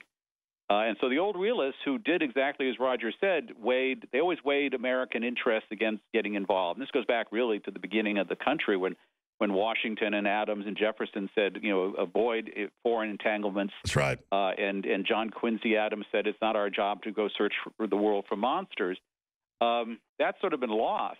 Uh, yeah, we now do the opposite of that. That's all we do. Yeah, and, we, and, and make no mistake. people. And, and, I, no think, I think to, to pick on Roger's point, to pick up on Roger's point that there is now an hysteria going on. If you read the Washington Post, which is now dominated by neoconservative writers, uh, their op-ed pages, their editorial page and op-ed pages are pretty heavily neoconservative. There are a few token liberals here or there, but mostly neoconservatives. And and so you have this hysteria going on that what will Trump do?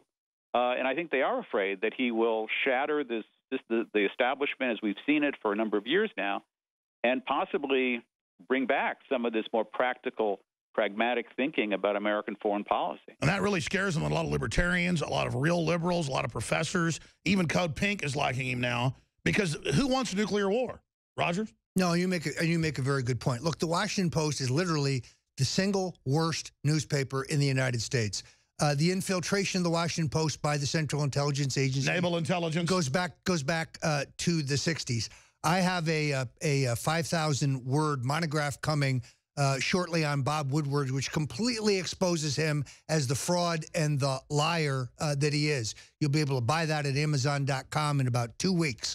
Uh, I put a lot of work into this, but people need to realize that nothing Bob Woodward reports is the truth. Total operative. L literally nothing. Uh, he who, who, commands him today, though? We know it was naval intelligence and CIA to take down Nixon, but because uh, they wanted to cover up the Kennedy thing. Uh, who runs it now? I, I, think today does it for the money, to be all honesty. I, yeah. I, I think he's in it for the money. But uh, this guy has a very, very tenuous relationship with the truth, and he needs to be uh, completely unmasked. This is a guy who claimed that he uh, snuck into Bill Casey's hotel room, and then Bill Casey, the former CIA director, confessed everything about Iran-Contra. I knew Bill Casey. I know his wife, Bernadette. I know his children. I know his daughter. At that point, Bill Casey could no longer speak. It's a lie. It's a complete lie. Oh, wow. Uh, I tell you, this is just epic radio today. Uh, Mr. Parry, I want to apologize too today that I kind of cut your time short. I really appreciate uh, you joining us. Can I get you back on for a full 30 minutes or, or an hour next week? Sure, Alex. I'll be, I'll be around. Well, you just do a great job at Consortium News. Everybody needs to visit it, consortiumnews.com. I'm going to put you on the phone with Nico and set you up for a full 30 minutes or hour, whatever you like to do next week. Thank you so much, sir. Thank you. Yeah, he breaks really big news. And, of course, uh, thank God we didn't have nuclear war last week, but it's just these neocons will kill us all if we let them continue to control things. And they run the Democrats as well to a great extent. We're going to come back with two segments with Roger Stone, and I promise go to your phone calls. Sean, you're up next. Doug, Kristen, Chris, Tommy, stay with us. Please repeat that. Roger Stone's our guest. David Knight's coming up. Uh, I don't want to exhaust this guy, but I may take him right into the third hour uh, with David Knight. Some know David's got some questions. We'll have you out here about 15 after, and we can eat that good German Texas barbecue we got back there waiting right now. Uh, German recipes, but cooked over there at Vic's by uh, great uh, Mexican folks. Uh, it is about as good as it gets. So I'm going to be, there's a plug for Vic's. Uh, but we're going to be going 15 minutes the next hour. And I want to go to your calls. I appreciate you holding. You were making a wonderful, wonderful point of hypocrisy when I was talking about how we have the number one story on the internet, according to Google Analytics, uh, for a day with the New York Times writer calls for assassination of Trump. And then you pointed out something about that guy I forgot about. Well, there's this fellow named Wilson who is uh, a faux political consultant out of Tallahassee, Florida. This guy goes on uh, Twitter and he calls for someone to put a bullet in Donald Trump. He also accuses, uh, on Twitter, he accuses my friend Ann Coulter of having anal sex with Donald Trump. He's still on CNN. But I've been banned because I what I said about Ana Navarro, as dumb as dog poo, uh, uh, dumber, uh, is offensive. That's offensive. Just goes to show you the double standard there. CNN had three guests on there: Buzz Bissinger, Piers Morgan, and the ambassador's daughter, whatever that girl's name is, saying, "Let's kill Alex. Let's dress up in uniforms. He needs to be murdered. Let's kill him." And it's all cute and funny. What is their problem? If I said that, I'd be arrested. It, this is Soviet-style censorship. They fear what we know. They fear what we have to say. They fear the fact that they can no longer contain the truth about the Clintons and their various crimes. They can no longer contain the truth about the Bushes and how the Bushes and the Clintons are in it together. And don't they get that, that Trump is a manifestation, a focal point of the anger? It's not going away. They ought to just run up the white flag and run to a foreign country immediately. Look, I, there's two people I want to thank. First of all, I want to thank the Pope from the bottom of my heart. He really helped propel Donald and now, Trump and now Vicente Fox? To a massive victory. And then Vicente Fox, he and his brother have been heavily involved in the drug trade, but I want to thank him also because all they're helping do is make Americans realize that only Trump, the guy they're vicious That we're run by a bunch of foreigners, that we're chumps. Yep. We're being colonialized by every crook and scumbag out there. Yep. Well said. Wow. Uh, let's go to Sean in Florida. You're on the air along the same line. Go ahead. Hey guys, how you doing? I'm actually calling from uh, Clearwater, Florida, right where the uh, right where the guys were trained at PIE Airport on Rubio's watch. But um, you know, I was kind of assessing the same thing and, and thinking to myself, why would Rubio be running for second place? Obviously, to get to a broker convention. But my understanding, the three options that they have at a broker convention, all three of those will lead to the probably civil re- civil revolution. So I'm wondering, do you guys think that somebody would actually take a chance to off him? I know that they've kind of heightened. Oh, I guarantee you, the Clinton Club and others are sitting around right now. By the way, Trump came out and questioned Scalia. Now he learns the secret society. I guarantee you, they are they are thinking about how to get away with it, Mr. Stone. Well, the you know I've been encouraged not to talk about Trump's security. Uh, he has very very good people around him Believe me, he doesn't completely trust uh, just this protection of the Secret Service. He has his own security detail, and they're the very best. But Trump is a courageous man. He's a bold guy. He knows that this is dangerous. He knows he's taking his life in his hands. He loves his country. He's ready to do something about it. Uh, here, of course, is the real point.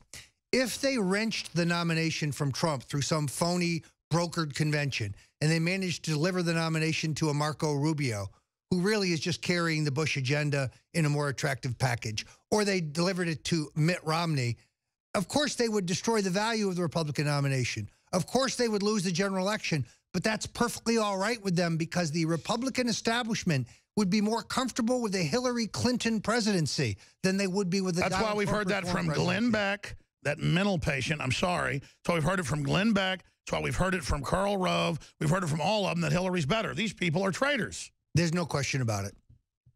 By the way, what's wrong? I don't want to bash him, but what is wrong with Glenn Beck? I mean, he literally sounds like a Fruit Loop these days.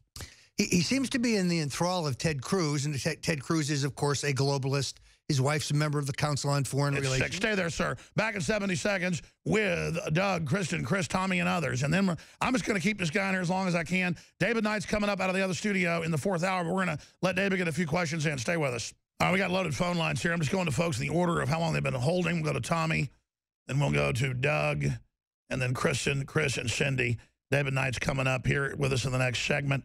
I'll ride shotgun until that segment ends, and we turn it over to him. And then there'll be nightly news tonight, 7 o'clock Central. Let's go ahead and talk to Tommy. Tommy in New York City, or New York, somewhere in New York State. You're on the air. Go ahead. Yeah, New York. Uh, how you doing today, Alex? I just wanted to tell you, you and your crew are smashing things here the past few weeks. And to Roger Stone, thank God you are who you are. I had uh, one question and two really, really vital suggestions as far as Trump with the campaign. Sure. Uh, the question for Mr. Stone is this. When are we going to see a full unveiling as what would help appease uh, the Cheshire Staff Sergeant Biggs? When are we going to actually see the unveiling of Trump's financial plan for the economy, since it is the number one issue regarding national security? And I mean, we as the people, I mean, that's what we're starving to hear right now is how we're going to. Well, sure, he's put out some of a plan. He knows they're going to attack it, but but uh, Biggs kept saying Trump, Trump, Trump doesn't need a wall. We need a plan. Uh, and I get that. I think we've seen more of a plan now. Go after the establishment. Uh, you know, don't let them have one-sided trade deals. That right there. Cut taxes. That's a huge plan. Kennedy cut taxes by 50% in one of the major uh, areas, 30% in another, and the and the receipts into the government almost doubled. So the system knows cutting taxes brings in money. They just want to control everything. But what is Trump's plan overall? Trump actually has introduced uh, a very detailed plan, you can find it online. Uh, it's been praised by the supply side economist Larry Kudlow, who's a very close associate of Ronald Reagan and helped put together his tax plan. Has several parts. Let's go through them. The most important one is Trump would cut the corporate tax rate below that of China. So China, our current corporate tax rate is 35. China is 25. Cut America's rate to 15. And that, that, that makes the money come back. Overnight, all those giant companies doing business in China because it's more profitable. And the globalists wrote that to ship our jobs overseas. Right. So they come back to the United States. They bring jobs back with them. They expand here. They hire here. They, they, they create opportunity here. Secondarily, the whole question of inversion. There's two trillion dollars offshore uh, that's avoiding taxation. Trump would bring that that money back into the country. And at DonaldJTrump.com, we're showing it. It's all there. They yeah, keep saying there's no plan. There really is a plan. There's an extraordinary plan. Uh, and then step three, Trump understands that currently in the federal bank accounts, there is one trillion dollars that is unaccounted for. Now, every administration prior to Obama has swept those funds uh, into the general to be used instead of going for higher taxes. Yet those funds sit there.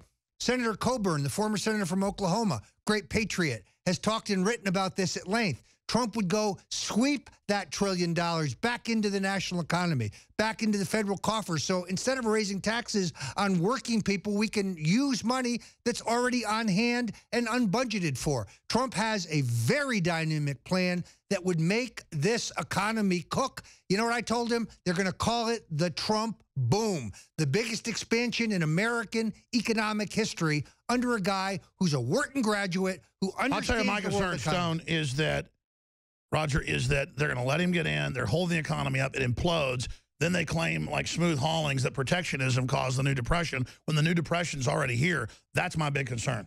I'm not sure that Trump uh, would ever really enact the tariffs. I think he's using it as a big old stick uh, against our economic adversaries. He understands cutting the corporate tax rate will flummox China like no no tariff could ever do. Well, sure. That, I mean, that, that's a form of tariff that our elites put that in with deals with China. People think of tariffs as a classic tariff. China having no environmental protection when we have all this environmental protection makes it impossible to do business here. Exactly. So you make you, you say we don't take your goods until you put environmental protection on.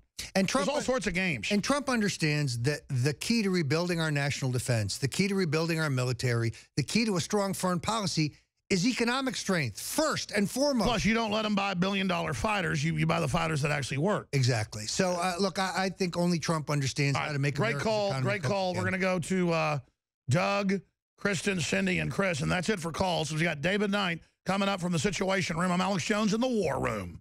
You know, it's easy to sit on the sidelines and go along with all the media hype and bash Donald Trump all day.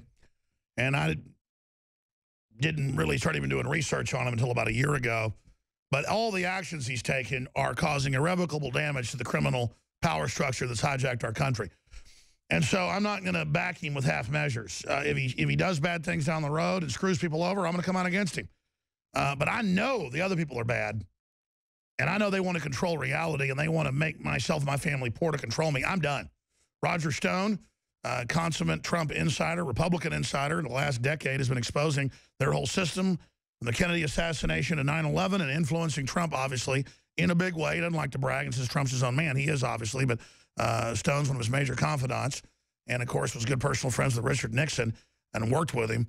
Uh, and, and he's here exposing the whole deal. He's part of the whole Florida recount. He's the big insider, and he's going up against him because he's all in now because the globalists want to break this country and make us a, a corrupt vassal state. I want to take a few more calls and get some questions from David Knight and hand the baton to him. And then tomorrow, he's going to be speaking at Brave New Books in downtown Austin, 7 to 9. We're going to cover the speech uh, and, and broadcast it uh, on, on Sunday. So look for that 4 to 6 p.m. Central Standard Time because uh, this is a big deal what's happening. And a lot of people from the inside as well are, are moving this year against the establishment because they know the establishment is actually hijackers that want to break the country forever because they're threatened that America might actually try to resurrect itself. America must fall for globalism to take hold. Uh, briefly, we are running the biggest show we've ever run on his books uh, that are at InfoWarsStore.com, on the water filters, the non-GMO seeds, on all the nutraceuticals, Survival Shield X2, Super Male Vitality, Super Female Vitality, Liver Shield, uh, the Oxy Powder, all 17 of our products at InfoWarsStore.com or InfoWarsLife.com or call 888-253-3139. And your purchase funds our operations. But this is a once every four years leap year sale. It's the biggest sale we've ever done, period. I didn't hype it. I didn't promote it beforehand. It snuck up on me because I'm so busy.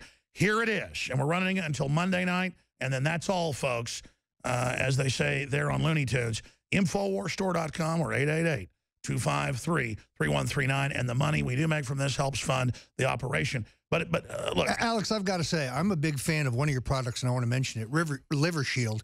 When I've been on the road doing, you know, what I do, the book signings, the speeches, the interviews, and I get off the road and I'm tired, I'm exhausted, I've been eating bad, I've been not getting much sleep, I hit Liver Shield it's rejuvenating. I get I get mental clarity. I get better physical energy. It's a great product. I'm a big believer in home, homeopathic uh, medicine, so I had to put in the plug. I'm a believer. Good well, stuff. it's, it's concentrated herbs that are known to help your liver detox. You can just take it every day or take it once a week or take it, do the gallbladder cleanse. It's unbelievable. It takes six days and, and, and you take the oxy powder with it and boy, on the uh, on the on the seventh day. It is it is spectacular for almost everybody. People can read the reviews, see the informational videos. Uh, and I think the folks over at Media Matters and places should do it for themselves, but they might actually pop if they did. Uh, and same thing with that lady over there on CNN. I'm being a little bit sarcastic here, but I do want to go back to your phone calls. Thanks for the plug. I didn't know you were a Good user stuff. of our products. Thank Good you, sir. stuff. Well, they're high quality. They're the highest quality we can actually bring folks. Plus, we know we're a target of the FDA, a target of the media, a target of the testers. And we want it to be high quality, but we have to be at the highest standard out there, InfoWarsLife.com. Take advantage of that. This only comes around every four years. Uh, who's up next here to talk to Mr. Stone? Doug in Ohio. You're on the air. Welcome. Hey, Alex. Welcome, Doug. Hey, good day, Alex, Mr. Stone. Hey, uh, as well, and uh, my info warriors out there, as well as we all know, America's the sickest country in the world. Um, 90% of our food is banned in 160 countries. We have a DaVita dialysis on every corner like a McDonald's. When will Trump expose this? And what will he do to the corporations manufacturing all this poison that they call food? Another reason, I forget all the good stuff he's done. He's come out against vaccines and said that they've got liability protection. They need to be studied. They're causing problems. There's too many of them. Again, I just forget how why I like him. Yeah, he's an independent thinker. He understands the problem isn't the vaccines. The problem is what's in the vaccines, the mercury and other products. Uh, you can imagine how the medical establishment went crazy when he said this. Trump's so, truth so, teller. So, you, truth teller. Everything folks. you keep saying about him, he comes out and I mean that's his views. Where is he on big pharma, on vaccines, on eugenics? This is a great call from the the listener, Doug. Uh, uh let me just say, stay tuned. You, this is just the beginning of the campaign. Wait, we get into the general. Election. So he knows what he's doing. He rolls it out. Well, one, one thing at a time. What he talks about monetary policy. Is it going to be basically Ron Paul meets Alex Jones meets Roger Stone by the end? Well, uh, we can only hope. Meets Donald Trump. No one puts words in Donald Trump's mouth. Uh, I am neither a formal nor an informal part of his campaign. I'm just an FOT. I'm a friend of Trump. Just like an, I'm an FOJ. I'm a friend of Jones.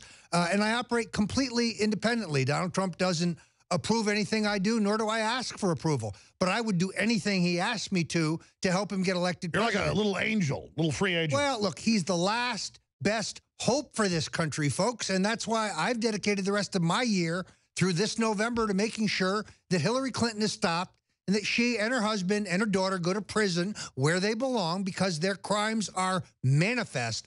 But more importantly, that we elect somebody who can save this country. The hour grows late. Is Donald Trump or a thousand years of darkness for the United States? Well, that's the plan. Thank you, Doug. Great question. Kristen in Ohio, you're on the air worldwide.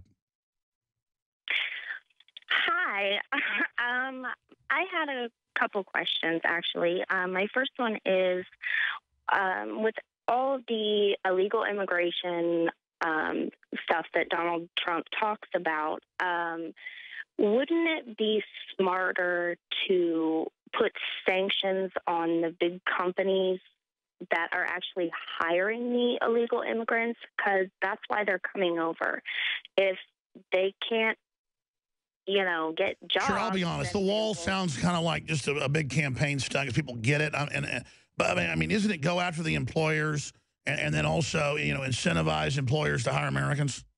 Uh, look, uh, give Trump his due. He understands the labor market. He also understands how, in many cases, you can't find Americans to fill these jobs. That is just a fact. But he's a giant critic of our visa program, unlike Ted Cruz, unlike Marco Rubio.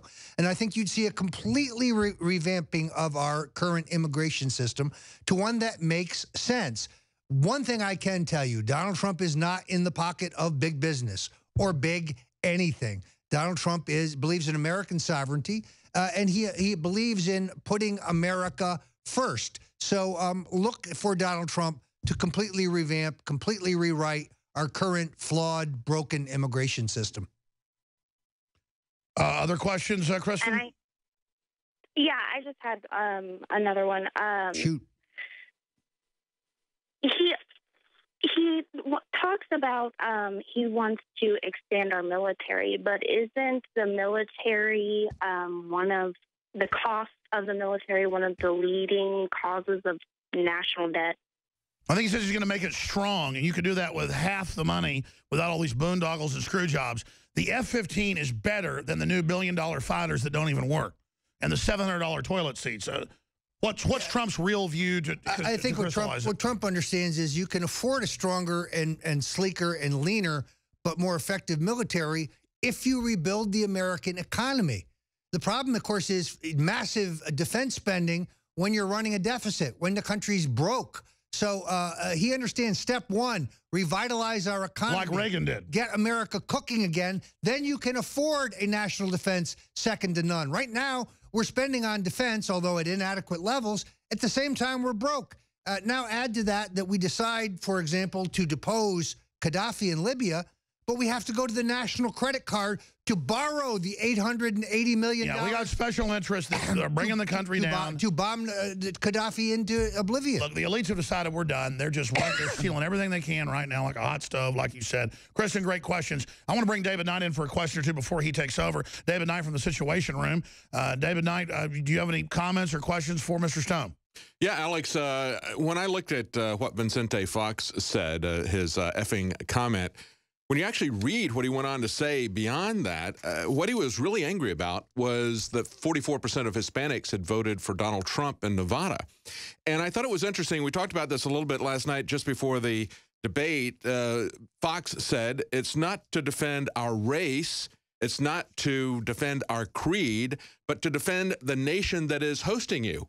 That raised a ton of questions in my mind because it sounded like he was he was appealing to them to vote on a racial basis, on some kind of a, a, creed basis, which I'm not sure what that is, but also the fact that he says defend the nation that is hosting you. Now. That implies, I guess, that these people are voting when they're not citizens, that they're simply being hosted. It all ties into the North American Union aspect uh, uh, that that we're looking at here. But I wanted to get uh, Roger Stone's comments on that. The idea that this uh, Mexican former Mexican Isn't president this, is angry exactly about doesn't this show the insane arrogance of Yes. the establishment that the Pope and the Chinese communist leaders and the Mexican former president with all his brother, the one of the biggest drug dealers out there on record, telling us what to do? No, Mexico would laugh at us if we did that. Yeah, I'm very familiar, of course, with with the with the uh, North American Union. As you know, Ted Cruz's wife Heidi has uh, been a major progenitor of that Skip the through, break. through her membership at the Council on Foreign Relations. Look, here's be be my message for Vicente Fox. The Trump Justice Department's coming for your brother. They're coming for your brother. They're going to arrest him. They're going to prosecute him, and they're going to jail him because he is poisoning our children. and you're going to be investigated too, Fox, just like when I bullhorned you. Fox is a criminal. His brother's a criminal. Most of those in the Mexican government are criminals. And Trump is exactly right. They're shipping us the rapists. They're shipping us the scum. They're shipping us the criminals. And then it's a con game like a raped woman. He sits there slapping us and choking us, saying it's our fault. Here's the irony. No, get off us, you rapist. Here's the irony, and the liberals are going to hate this. Donald Political Trump rapist. will get record numbers of African American votes. He Record- already is. The polls show it. Record numbers of Hispanic Tell votes. us how he'll destroy Hillary, because he really will in the numbers. If young black men are incarcerated in this country, it's because of Bill Clinton. It's because of the crime bill that Bill Clinton uh, signed. These are people, black people, who Hillary Clinton said had to be made to heal.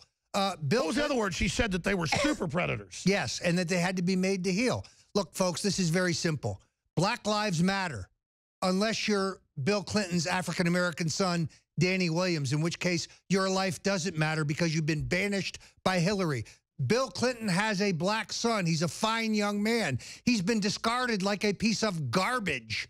Uh, and the Washington Post writes, oh, a DNA test proved that that was all false. No, folks, there is no DNA test. Bill has a black son, Danny Williams. Hillary Clinton is the one who banished him. Wait until African American voters hear about this, and they will. And that's why they're banning you all over TV. Absolutely, because they're scared of the truth. They know when it comes to the Clintons and the Bushes, I'm a truth teller. Well, I've read I've your books, I've and I've the lived battling the. Clintons, and I've lived exposing JFK, and they're dead on.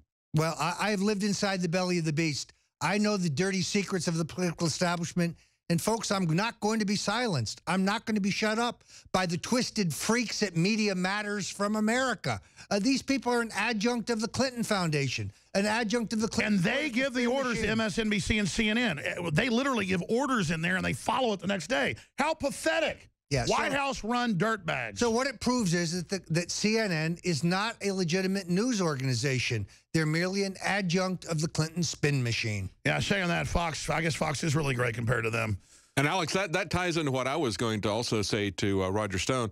When we look at the way this debate was set up last night, of course, it was CNN and Telemundo. And I think that was also an effort. uh, Everything was targeted towards Trump. As They kept saying, we'll see what Telemundo Yeah. thinks. Yeah. They're upset because Trump won the majority of the Hispanic vote. And uh, so they're trying to play the race card, just as Fox had said, as Vicente Fox had Yeah, said. even Fox this trying to- morning, the talking point was, Yeah. uh, it's whites that are angry. That's why they like Trump. What? I'm tired of seeing everything shut down. I want prosperity. I want lower taxes. That's nothing to do with what color I am. Yeah. Donald, Donald Trump's uh, entire message is aspirational. Trump stands for economic opportunity, for growth. I'll tell you what black people want, what Hispanic people want. They want a piece of the pie. They want American Like Farrakhan said, give us some of this dirt. they, they don't want to be employees. They want to be employers. Trump understands the I aspiration. could, could you believe that Farrakhan even came out to us and said, Donald Trump is right. You can't bring in all these radical Muslims because a bunch of them are terrorists and it'll make other Muslims look bad. And I think Donald Trump might want to actually get the country going again. I mean, that was crazy. Trump stands for prosperity, and I think most Americans understand that. Uh, I'm going to hand this back over to you here. We've got more calls. I know you can go to them. Uh, and you got a lot more coming up today, David Knight. But uh, any, any other questions here for Mr. Stone? Well, I, I, I just think that's exactly the case. As we were looking last night, we had the uh, Telemundo reporter that kept going back to these issues that were very narrow, like uh, bankruptcy for Puerto Rico. And it's like, what she doesn't understand is what you were just saying there the fact that he transcends all the demographics and we don't need to be compartmentalized into this kind of balkanized reaction. Let It's me stop you, David. Uh, repeat what you've said. Stone hasn't heard it. Just a few months ago, you were still on the fence about Trump because, you know, you're a pure constitutionalist.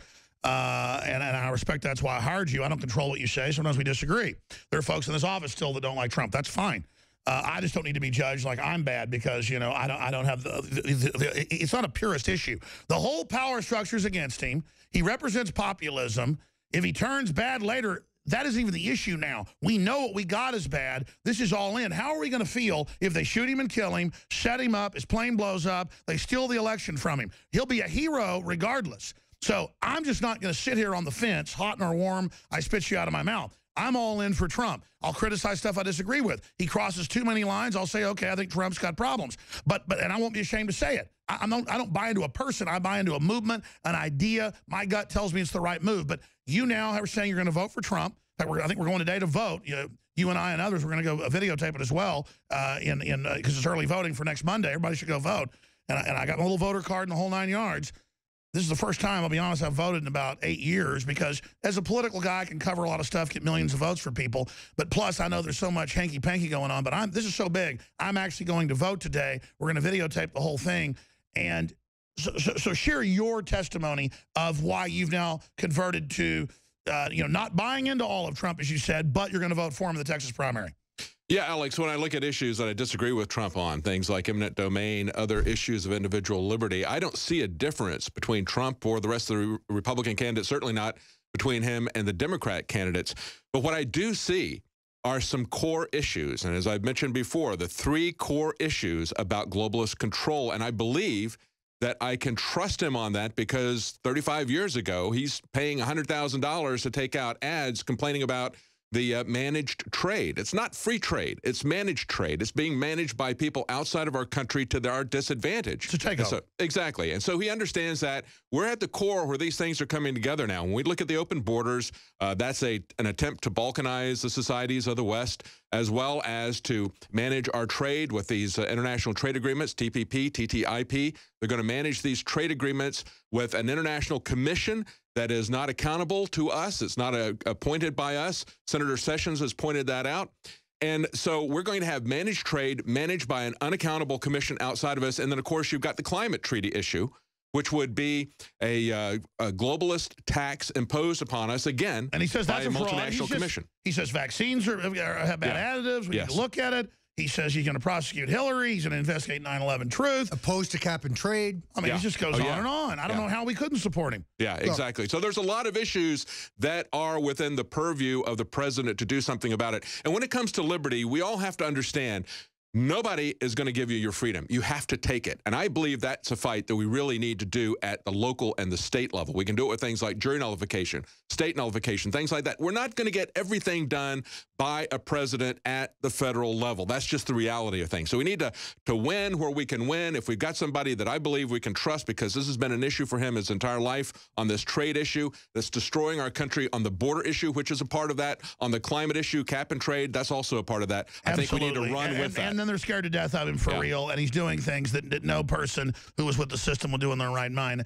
Do you agree, Stone, in closing, that we're seeing irrevocable harm to the corrupt kleptocrats that have hijacked the nation, and that regardless, Trump is dealing uh, grievous, grievous blows to the system that'll be felt for decades. Look, Alex, I don't argue that Donald Trump is a pure conservative. My friends at National Review, and those guys are my friends, that's their thing. They're looking for purism. How pure they are. I, I, argue simple that he is the best choice for conservatives in 2016 because on the big picture issues, our fiscal situation, our immigration situation, our trade situation, our foreign policy, he's the best choice for conservatives this year. That's why I'm. Yeah, look, the, the, the you know the holier than thou conservatives have sold us out. Their rhetoric's great, their actions are bad. They can sit there and talk about, you know, purist stuff all day long. They haven't delivered, and they're scared that their buddies that control the big pie and are running the show might not be in charge anymore. That's what all this is about, is they're afraid he's in there nuzzling them out of the trough. They may think he's worse than they are. They are genuinely scared of Donald Trump. Absolutely. Alex, it's been a great pleasure to be with you. Uh, come out and see me at Brave New Books here in Austin tomorrow night, 7 to 9. I'm going to uh, speak. I'm going to take some questions. I'm going to sign some books. It's very exciting to do a grassroots thing like that, to see the real people come out. And it's extraordinary. People are hungry for the truth. They're ready for leadership. And I think more and more they recognize Donald Trump is the last best hope for this country. Well, he sure got the establishment having a heart attack. David, I'm going to hand the baton back to you. Got a lot of callers there. Thank you so much. A great job uh, with the crew last night uh, covering the uh, final Republican debate uh, before Super Tuesday. These are epic times to be alive to the viewers and listeners. Get involved now, whether it's local, international, whatever, your organic farming, right to self-defense, uh, you name it. Now is the time to be involved. The future of our world's being shaped. Don't forget to support Infowars.com and our sponsors. And we're doing the biggest sale in our history, 30% off everything at InfoWarsStore.com. That's everything and free shipping. Totally unprecedented. It's the leap year sale. It's bigger than Black Friday, and it runs through next Monday. Thank you so much, Roger Stone. Alex, great to be here. David Knight, you're in charge. God bless you. Well, Alex, I want to take some of the calls here, but before we do, uh, of course, last night was uh, Oh, actually a lot of fun. It was uh, a free-for-all brawl, and there's been some uh, some fallout from this. I want to get your comments about what you thought about the uh, debate last night. One of the things that I thought was interesting that developed this last week was the push for appointing a Supreme Court replacement for Scalia. And I thought it was very interesting that the Democrats got together and offered this to a Republican governor from Nevada who is sitting there. That could have been very difficult for the Republicans to handle.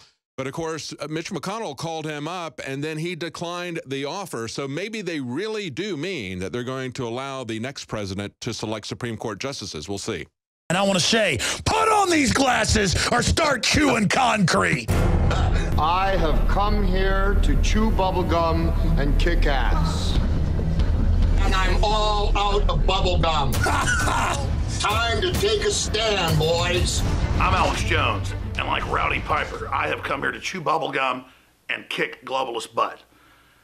It's time for all of you, the info warriors, and myself included, to take our fight to the next level and to help the public put the sunglasses on. The metaphor for expanding your awareness, researching what's happening, and admitting that there's a global elite establishing a planetary tyranny.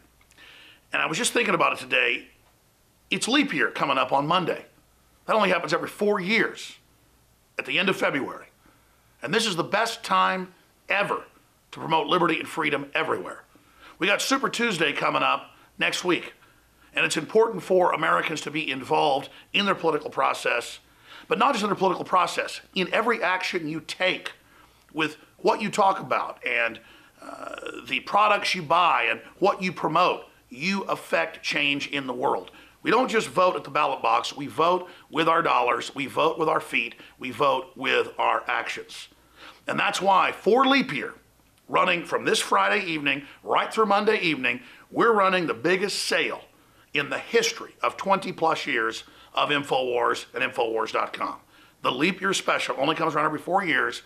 30% off all products at InfoWarsStore.com and free shipping on top of the discounts that are already there. This is a major loss leader with some of the products, but overall it will help us fund the InfoWars operation and get our reporters out there across the world covering what's happening. The planet is ready to wake up. People are ready for the truth. But to do that, those of you already awake have to redouble your efforts spreading the word and directing people to good sources of pro-human information like Infowars.com, my syndicated radio show, the nightly news, and more. I'll be back this Sunday live, 4 to 6 p.m. with the Sunday radio show as well. But in the meantime, take the time out to visit InfoWarsStore.com or InfoWarsLife.com to find the specific nutraceuticals and take advantage of the biggest specials yet on true game-changing products that are simply amazing. Like Survival Shield Nascent Iodine X2. Most people are iodine deficient, and most iodine out there is bound to other compounds, so you don't really absorb it. Our research shows this is the purest, strongest, most focused, good halogen ever. And what it does is simply amazing. Read the five-star reviews at InfoWarsLife.com today and take advantage of the biggest sale ever in InfoWars history. And on top of that, I finally want to thank all of you that have spread the word about the broadcast and that have supported us and our sponsors and bought the products at InfoWarsStore.com. Because without you, none of this would have been possible. My pledge to you is that I will keep the sunglasses on, and this operation will be a sunglass factory in the metaphor uh, or the allegory of they live, and that we will help humanity take the blinders off, come out of the cave, and defeat this globalist system that's being constructed. Now back to InfoWars Nightly News and more. I'm Alex Jones. take a stand, boys. You know what? You got a little courage. Stand up for yourself. Waging war on corruption.